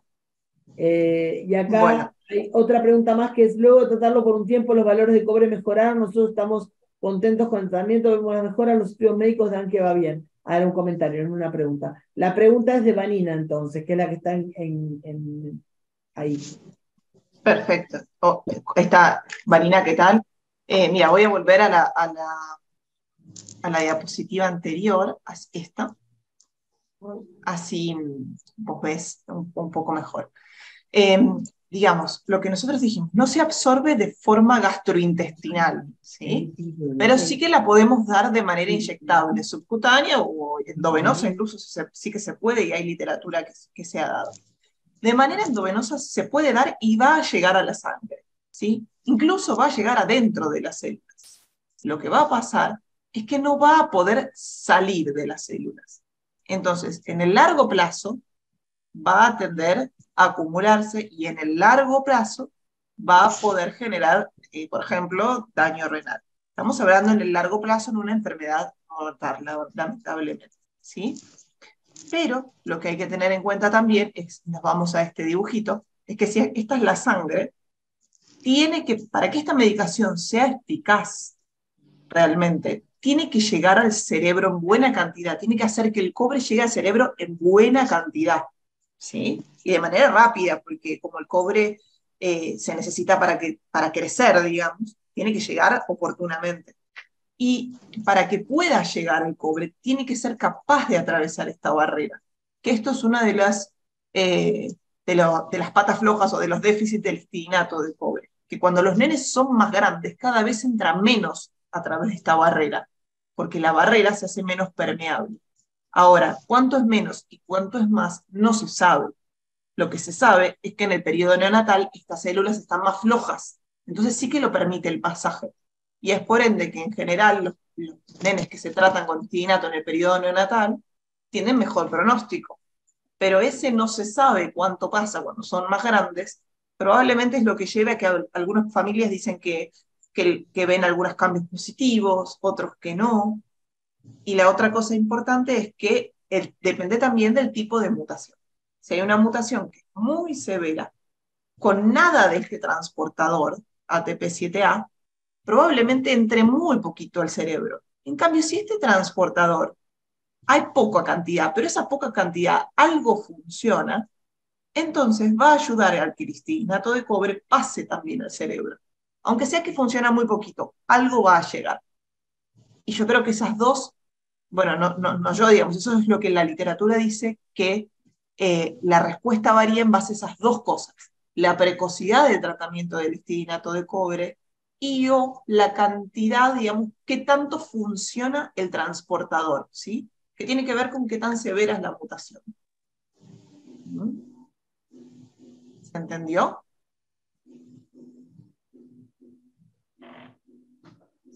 No me acuerdo quién era, cómo era el nombre de quien había preguntado esto. Vanina, eh, había preguntado. Yo creo que se entendió. Hay más comentarios. A ver, espera. Ah, Ahora acá aprendí a manejar. Perfecto, Perfecto gracias. dice Vanina. Y levantó la mano Laura. Y levantó la mano Laura Guzmán. Ah, la famosa. Sí, solo ah, aprovecho. Sí, perdón, entré un, poco, tarde, nada más aprovecho, digamos, que, que, están en esta instancia de preguntas, bueno, para saludarlas a Natis, bueno, ahí está gente de Alapa que está también en el hospital.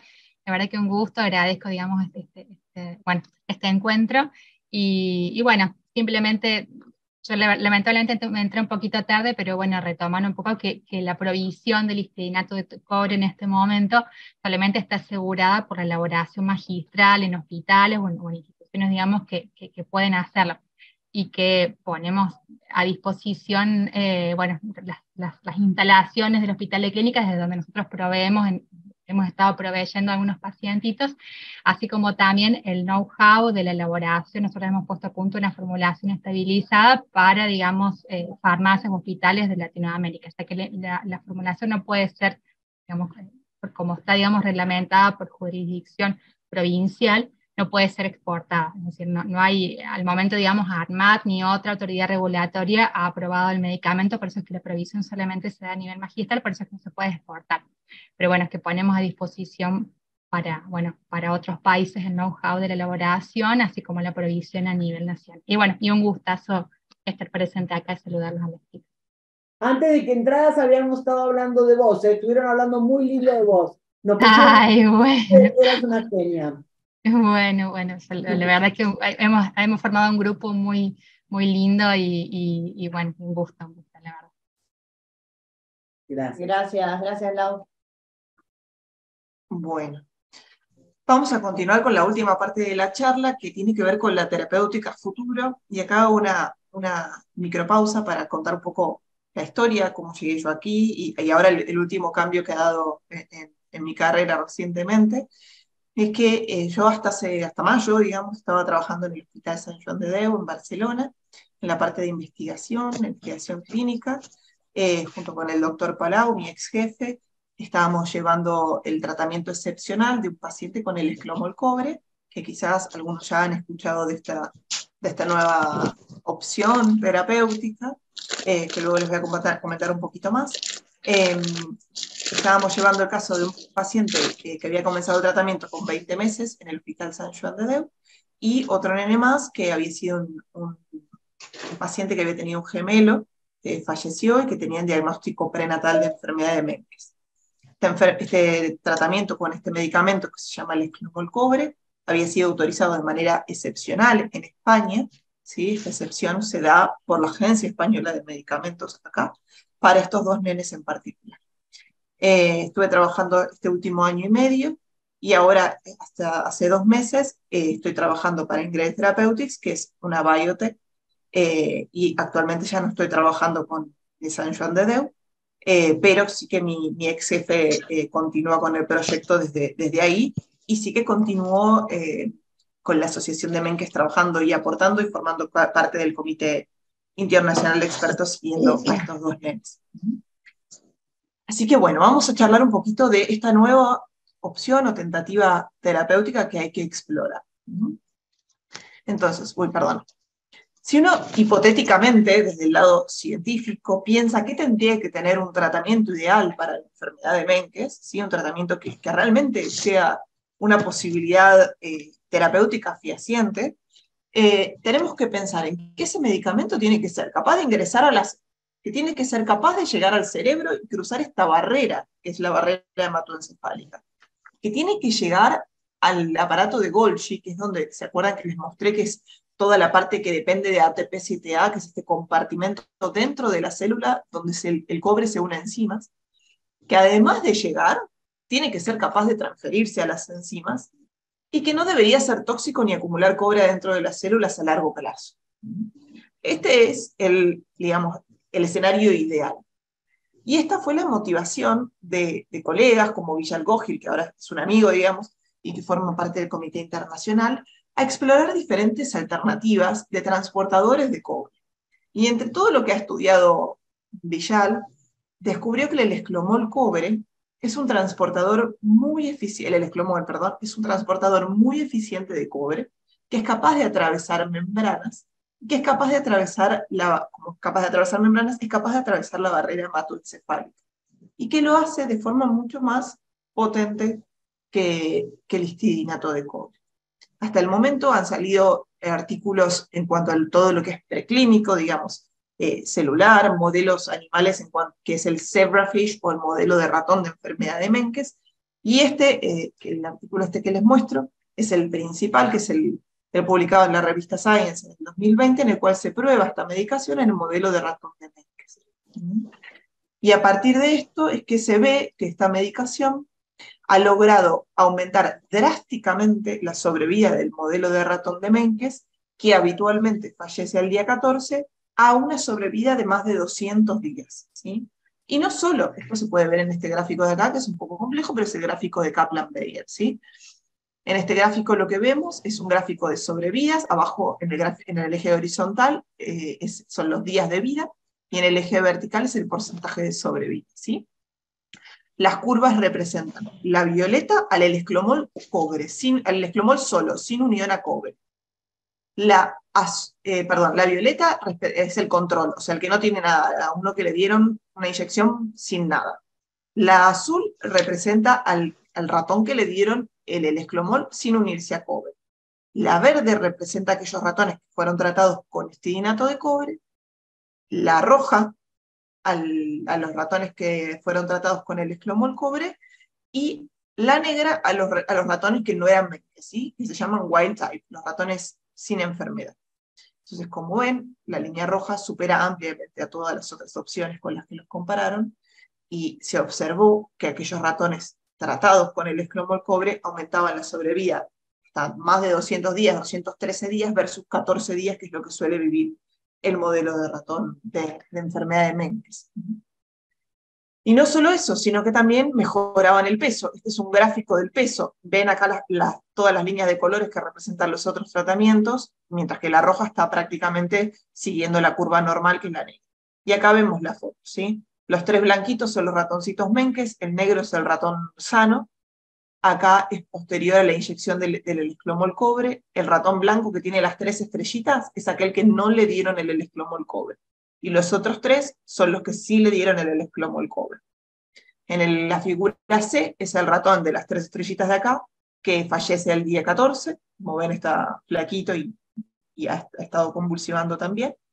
Y el D es una de las fotos de estos de estos ratones que han sido tratados con el esclomol cobre, que han logrado sobrevivir y tener un tamaño similar al, al del ratón normal.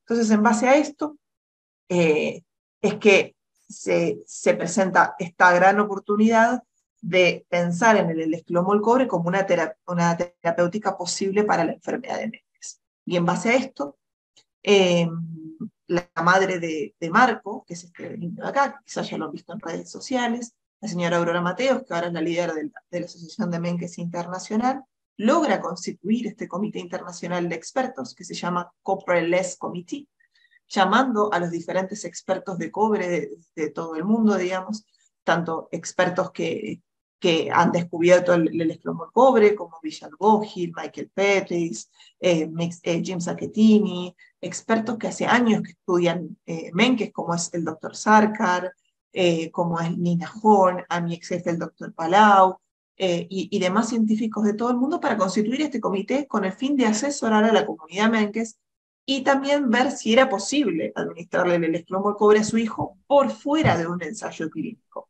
como saben, o sea, no, saben, pero para que una terapéutica pueda salir al mercado de manera eh, legal y tradicional, hay ciertos aspectos regulatorios que hay que cumplirse, ¿sí? Porque una nueva terapéutica tiene que asegurarse de que sea principalmente segura y por otro lado, que sea eficaz. si Uno no puede estar vendiendo o, comercializando un medicamento que no va a hacer nada o no va a cambiar la expectativa de vida. Sin embargo, como se trata de una enfermedad rara y mortal, la Agencia Española de Medicamentos consideró la situación de Marco, consideró que esto, a pesar de no tener la, autorización de un ensayo clínico, estábamos siguiéndolo y haciendo un protocolo como si lo fuera, y lo autorizó. Lo autorizó en España para Marco y para otro niño. Y comenzamos el tratamiento de Marco a fines de enero del 2021, es decir, que llevamos más de un año y medio de tratamiento. Y la verdad es que con Marco eh, estamos sumamente optimistas porque en cuanto a los scores de neurodesarrollo, Marco realmente ha logrado mejorar en todos sus ámbitos y actualmente tiene un dominio cognitivo normal para la edad, un lenguaje receptivo normal para la edad y una motricidad fina normal para la edad. Continúa un poco retrasado en lo que es el lenguaje y motricidad, pero aún así está, ahora tiene tres años, cumplió en junio, y aún así está dando sus primeros pasos solo. Se va se va, maneja por todos lados con un andador y ya se anima a soltarse y a caminar un poco solo. Rápidamente lo tiene que volver a agarrar, pero está practicando y es capaz de decir palabras de, dos o tres frases ya. Así que la verdad es que estamos muy contentos y es por eso que em, la empresa farmacéutica que es Sinclair Therapeutics, que tiene la propiedad intelectual de la medicación, eh, está ahora, bueno, estamos ahora trabajando para lograr finalmente llevar el ensayo clínico del esclomol cobre a, a, la comunidad y, bueno, y tratar de que esto pueda ser al menos, eh, digamos, brindado al resto y, y realmente poder asegurar que esto no fue suerte y que esto no fue el azar, sino que realmente de manera científica comprobar si esta medicación es segura y eficaz no para Marco, sino para otros niños con enfermedad de Mendes. Así que bueno, como última diapositiva, anteúltima diapositiva, en realidad, lo que quiero eh, recalcar acá es que, eh, bueno, ya lo hemos dicho muchas veces, creo que ustedes lo saben mejor que yo, pero es tan importante que todos estemos comunicados, que creo que esto es lo que evidentemente va a cambiar el pronóstico, más allá de cualquier tratamiento que salga. Establecer una red de comunicación eficaz va a cambiarlo todo, porque así salga un medicamento que sea absolutamente curativo y mágico, los pacientes están dispersos por todo el mundo. Eh, entonces, no solo no hay diagnóstico oportuno, porque muchos muchos, eh, médicos desconocen lamentablemente la enfermedad, sino que cuando lo hay, están a millones de kilómetros de distancia. Entonces, no se sabe si esos niños continúan vivos, si no, no hay estadísticas. Y es acá cuando las asociaciones de mente tienen que ser protagonistas. Porque en el caso de que salga un medicamento nuevo, hay que comunicarse con las asociaciones de Menkes, con las familias, y la parte del reclutamiento de los ensayos clínicos de este o cualquier otro tratamiento que pueda existir en el futuro tiene que ser rápido. ¿Por qué? Porque estos nenes no tienen tiempo. O sea, no se puede demorar tiempo en la parte de, de, buscar, de pensar, de contactarse. No, si ustedes ya tienen armada esta red, entonces esto va a ser mucho más fácil. Y contamos, bueno, por suerte con muchísimas asociaciones. En este caso puse como ejemplo la Asociación de Menkes Argentina porque es la que ha organizado la charla, pero está Kevin de, de, Costa Rica, veo que está Víctor de, Chile, hay muchísimos representantes que, que la verdad es que son valiosísimos. Y quiero mencionar a la Asociación de Menkes Internacional con la señora Aurora Mateos, que me parece que, que puede ser una, una candidata clave para poder englobar a todas las, digamos, los, los contactos de las diferentes asociaciones locales para poder tener un sistema de respuesta rápida a esto, para que en el caso de que esto o cualquier otra terapéutica, enseguida el mensaje sea transmitido y se, sea masificado a todos, a profesionales, a padres y a las asociaciones. Así que bueno, con esto terminamos. Les dejo mi correo por si alguien me quiere escribir y les dejo también los datos de la Asociación de Menkes Internacional para que se contacte con la señora Aurora Mateos y cualquier duda que puedan tener, eh, se comuniquen con ella también. Así que muchas gracias. Y acá estamos. Este es parte del Comité Internacional de Menkes, que nos juntamos en, Sorrento el año pasado y presentamos el caso de Marco, y este es Marco. Acá está Aurora. Así que bueno, muchas gracias. Y acá estoy para las preguntas que necesiten. Desilenciémonos todos. Hay ahí unos, esas son preguntas. A ver. Sí. A ver.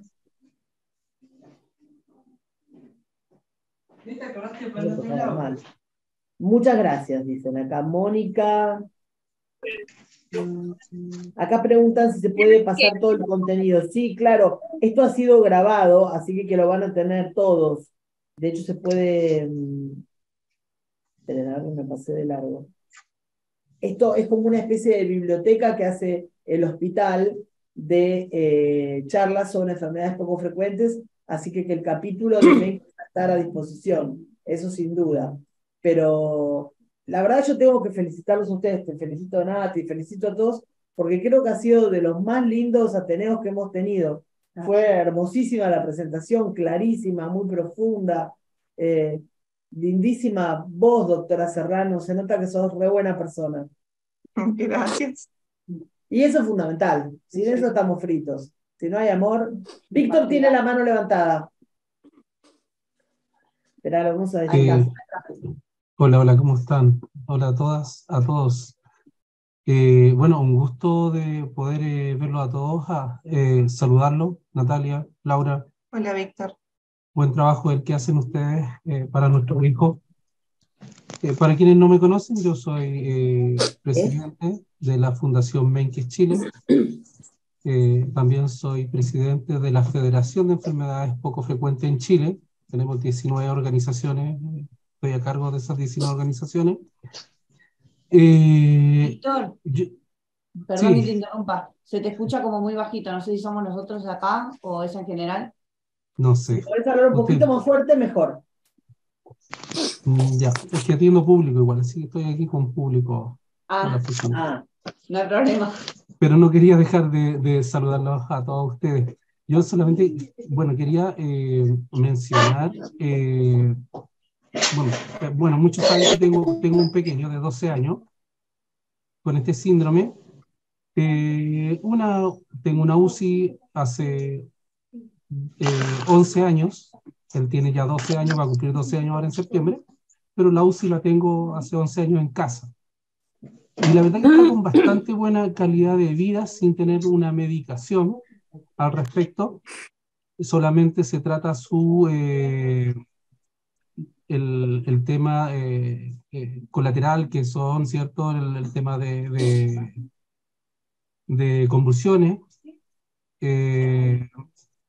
y yo quería, bueno, la verdad que como no los conozco a todos, solamente quería pasarle el, el, el, dato, mi apreciación personal, lo que me ha tocado a mí aquí en Chile ver, ¿cierto? A los otros, incluso mi hijo, con mi hijo y con los otros pacientes, es que eh, ellos necesitan mucho de lo que es la ventilación mecánica a sus primeros años.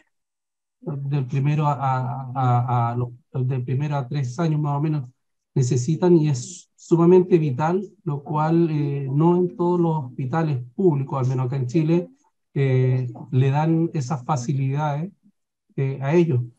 Por lo tanto, eh, solamente eso, y como no conozco a todos los que están, no sé si habrá alguien de Chile, es para más que nada pedirles que exijan, exijan en sus hospitales cuando su pequeño está mal, ¿cierto? Que no solamente le den oxígeno, sino que le den un respaldo para que él pueda no desgastarse eh, con, con, estos resfríos que generalmente le dan cuando es pequeño.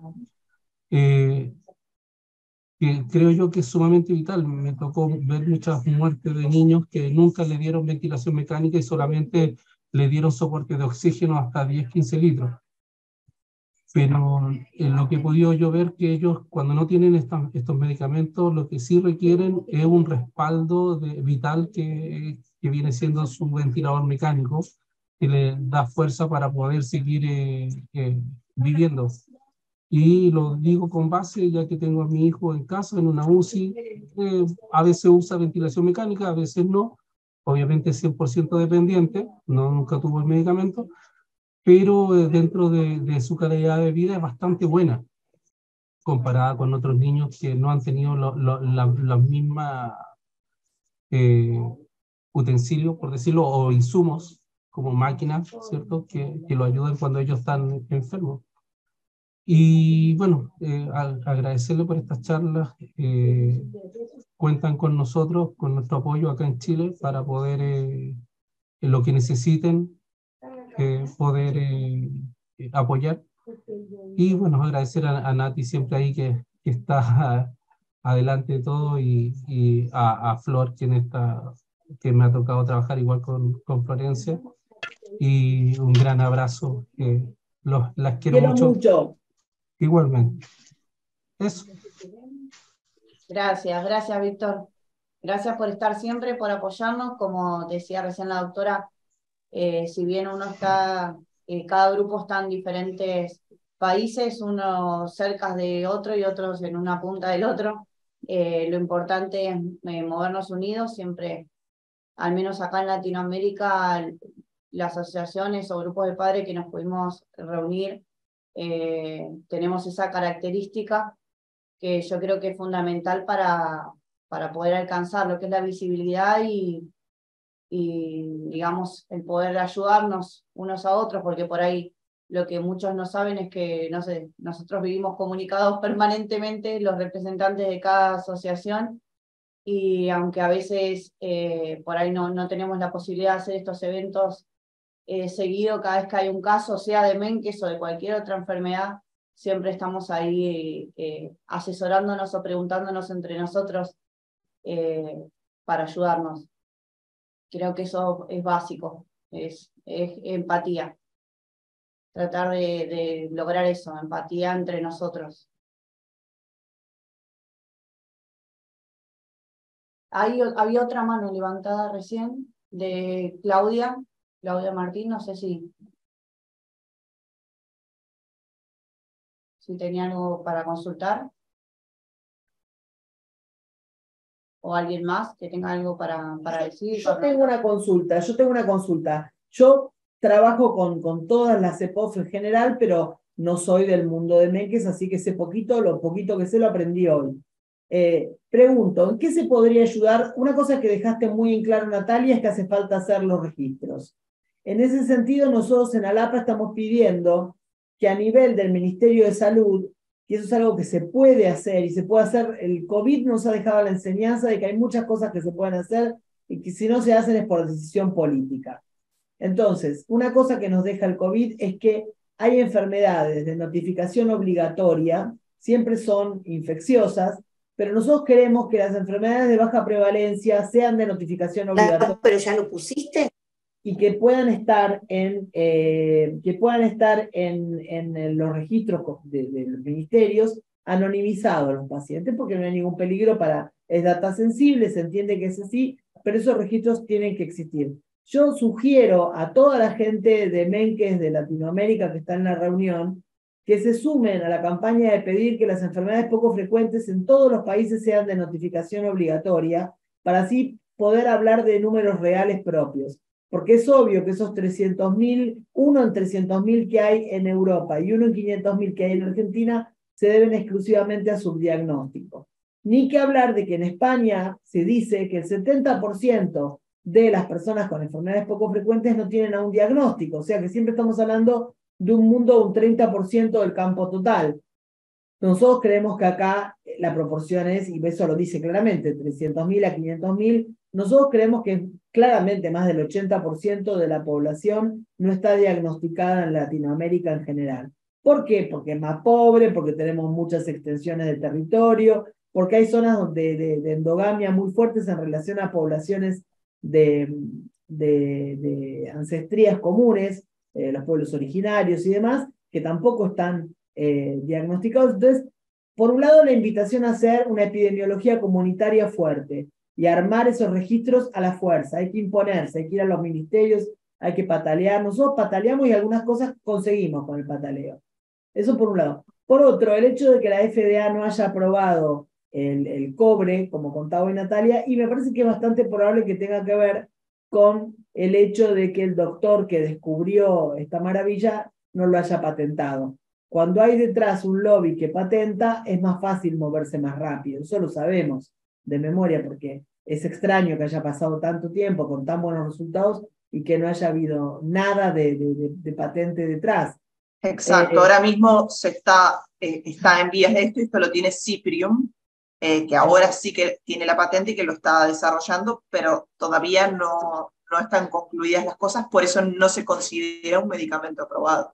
Bueno, está ahora mismo llevando los estudios clínicos. es una perversión del sistema, ¿no? Años con algo descubierto y hasta que alguien no puede capitalizarlo y volverse millonario a costa de eso, mientras es barato, nadie, nadie hace nada. Nosotros tenemos un par de estrategias que estamos desarrollando acá. Y además queremos que el UNASUR compre los medicamentos de manera colegiada.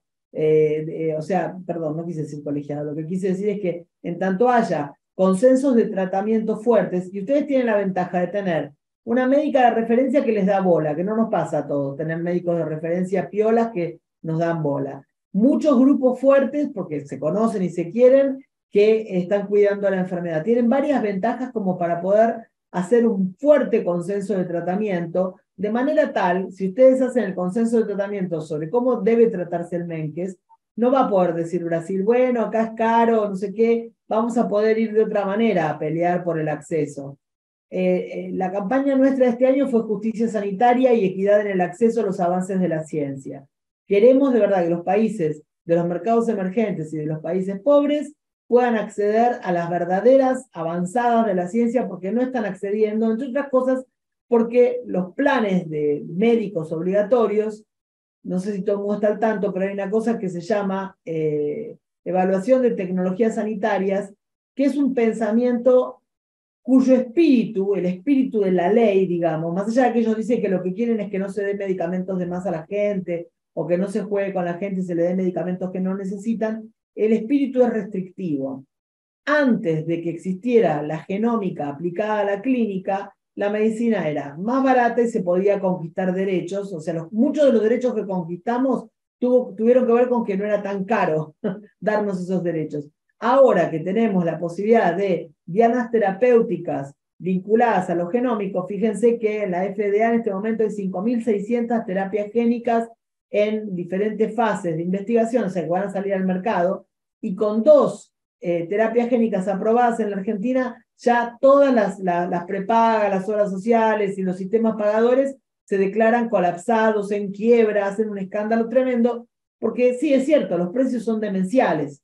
Se suma la perversión de, que todos estos son negocios y que tienen que ganar siempre, las, las prepagas y todo lo demás, y las obras sociales y todas las corrupciones del mundo, más que los laboratorios sacan un rédito absurdo, porque muchas veces parte de toda la investigación ha estado a cargo, por ejemplo, de universidades o de gente como este doctor que contaban hoy, y sin embargo viven corriéndonos con que desarrollar tratamiento para las enfermedades poco frecuentes es costosísimo para ellos. No es costosísimo. Por eso cuando empiezan a decir son medicamentos de alto costo, no, medicamentos de alto precio. El costo no lo sabemos porque no hay ninguna ley de transparencia del costo de producción de los medicamentos. Y queremos eso también, que haya una ley de transparencia del costo de producción, porque los medicamentos son un bien social. Si se salva vidas no se puede joder con eso. Entonces, una cosa que propongo es, ya que ustedes tienen una tan linda red de líderes y tienen lindos científicos, sean un caso modelo en relación a poder armar el, el consenso de tratamiento para llevarlo a la, a la OPS, nosotros podemos alcanzárselo diciendo así se debe tratar al paciente con Menkes, así se debe buscar al paciente con Menkes, todos los pacientes con Menkes deben ser de notificación obligatoria a los registros nacionales, Veamos la forma de aprovechar. No va a ser tan complicado porque encima no es una enfermedad de alta prevalencia, sino de bajísima, bajísima prevalencia. Hagamos un caso modelo de trabajo. Ustedes tienen una riqueza que no sé si saben, si son conscientes de la riqueza que es. En el caso de mi hijo que tiene enfermedad de Stargardt, yo nunca encontré un médico que me diera bola y me tratara bien como la doctora Natalia Serrano.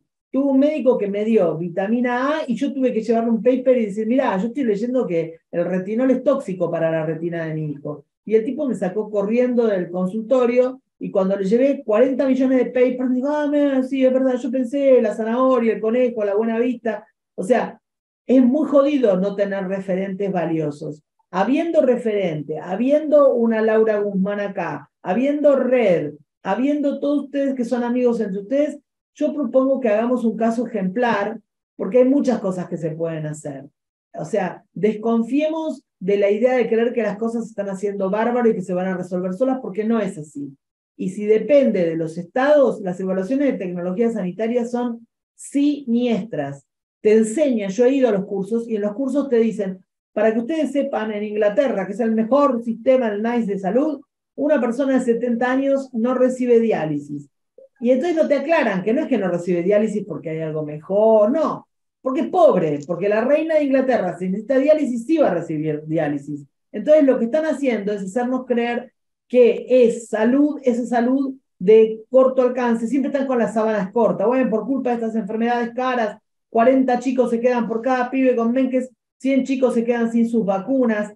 No es verdad, no es argumento, hay otros costos que hay que recortar, nunca salud, nunca ciencia. Hagamos ciencia soberana, Hagamos salud soberana, nacional, regional, fortalezcamos los lazos. La verdad que yo estoy fascinada con lo que escuché. Yo vine para abrir la reunión porque siempre abrimos la reunión, pero siempre estoy calladita como una morsa. Ahora, la verdad que fue un lujo la reunión y creo que tenemos que aprovechar a gente como Natalia. Eh, esta situación es inédita y se pueden hacer cosas extraordinarias. Porque si nos quedamos esperando lo que hace el sistema político con nosotros, estamos fritos. Del signo que sean, ¿eh? yo soy una persona muy politizada, soy de izquierda, no es que estoy diciendo los políticos son feos, no, pero es real que todos son torpes y egoístas a la hora de evaluar estas cuestiones tan sensibles y tan sofisticadas, tan delicadas. Entonces, nada, quiero decirles que estamos a disposición de ustedes para lo que deseen. No, no, no, Laura tiene la mano levantada. Sí, no, totalmente de acuerdo como Florencia, solamente contarte un poco de, nuestra experiencia. Nosotras nos hemos, eh, hemos uno de los principales problemas que está habiendo ahora es la provisión, al menos digamos de lo que yo conozco, es la provisión a nivel de Latinoamérica. Argentina, dentro de todo, entre el Hospital Garrahan y el Hospital de Clínica, ha asegurado la provisión en los pacientes que han venido surgiendo en los últimos años a través, digamos, de esta vía de la elaboración magistral. No obstante, nos hemos contactado con, con laboratorios de producción pública, hemos hablado con gente de Armada, gente de jurisdicción de la provincia. El problema es, tal cual, como vos decís, digamos, cuando vos le hablas a un laboratorio y, y, bueno, primero que te preguntan es, bueno, ¿cuántos pacientes hay, digamos, a cuántas personas? Supongamos, digamos, que este el laboratorio Ciprio logra el, el approval de la FDA, bueno, ARMAT podría hacerse eco rápidamente, eh, bueno, asumiendo, digamos, que, el tema de patentes se pueda, se pueda revisar ahí. El tema es eso, que lo primero que te preguntan es, bueno, ¿cuántos pacientes hay? Y en, enseguida entra esta, esta cuestión de, los costos que vos bien mencionas. En realidad, digamos, el istinato de cobre en cuanto a, a de producción no es, la verdad que el costo no es, es nada, digamos, es bajo el costo.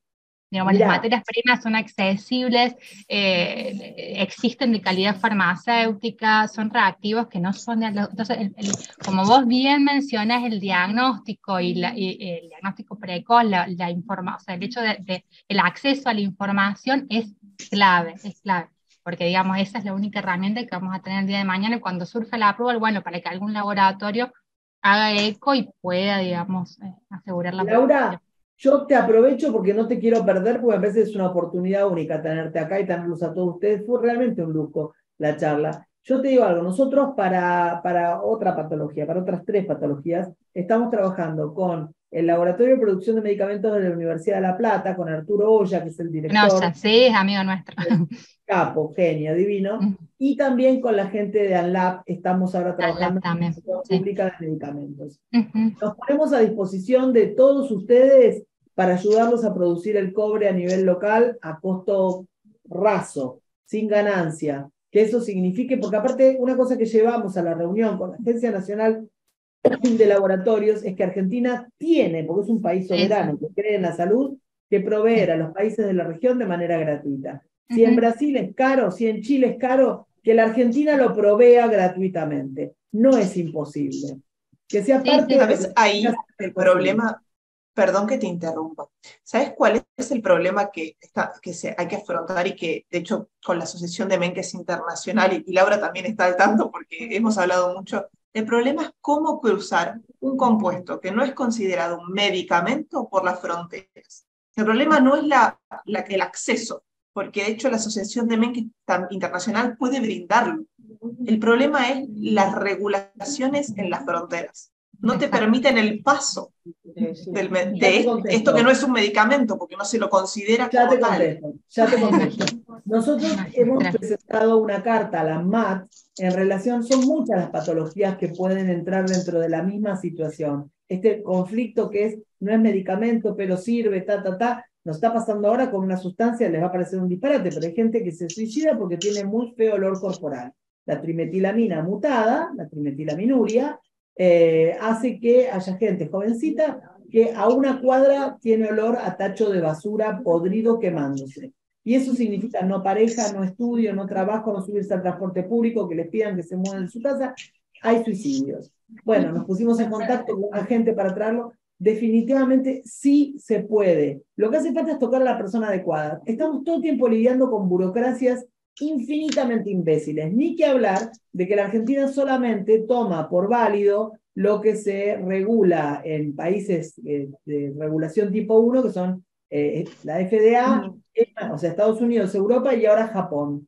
Hay que revisar ahí eso, el cambio, porque no es imposible. Si uno logra eh, eh, hay autorizaciones que eventualmente se podrían llegar a pensar en países no región 1 y generar eh, para las enfermedades, eso es algo que nosotros queremos. En 8.000 patologías sin tratamiento, seguir esperando que todas las autorizaciones vengan de países tipo 1, de clase 1, a la hora de, de, la regulación, cuando tenemos una MAT que es buenísima y tenemos un montón de cuestiones que están funcionando, hay que revisar como para determinados productos quizás se puede pensar en una regulación distinta y colegiada entre otros países. Quizás es trabajar entre Francia, Japón, Argentina, o sea, con un país de, la zona 1 en el equipo de la regulación. Esas estrategias las estamos explorando, pero que un chico con MEN que no reciba el cobre, que parece una pavada, estamos diciendo, porque la FDA no la aprobó porque nadie se había hecho cargo de la patente. Y en algunos lados es caro cuando en realidad sabemos que es una cosa sencilla de producir, es criminal. Eh, Alexis de Courbier está presentando una carta a la OMS planteando que cualquier asistencia que se pueda dar y que no se dé es un crimen de lesa humanidad. Y nosotros adherimos a eso. La imbecilidad en los cargos eh, directivos políticos que frenan, las burocracias que frenan el acceso a la salud, son crímenes de lesa humanidad.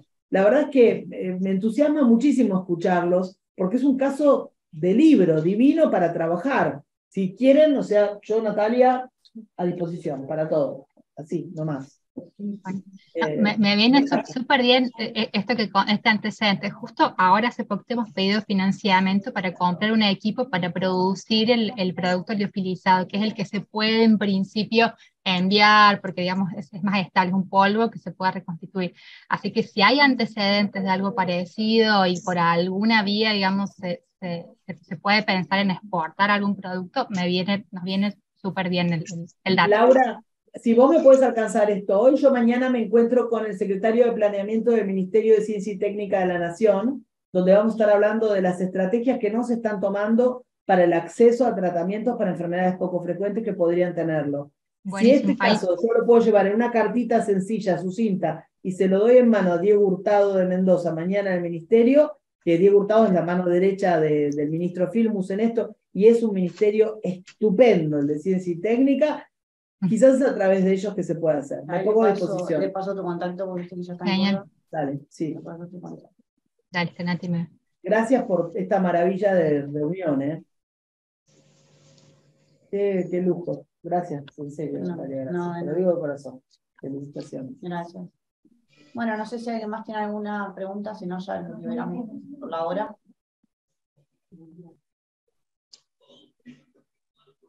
Chicos, ¿ustedes algo para agregar? Hablamos, hablamos, cerramos la reunión contando si quieres tu experiencia, todo. Bueno, eh, no, eh, para resumir y para cerrar, eh, les contamos el, tema de la asociación, para los que no saben, nació hace ya nueve años.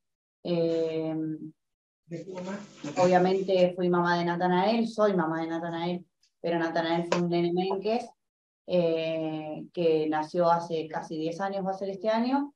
Y la idea de la asociación nació en el corazón mío en su momento y de, otros papás, eh, con el fin de, de no dar eh, por terminada la lucha cuando se, se apaga ¿no? la, la vida de ellos. El decir, bueno, Natanael me enseñó a que no hay que bajar los brazos.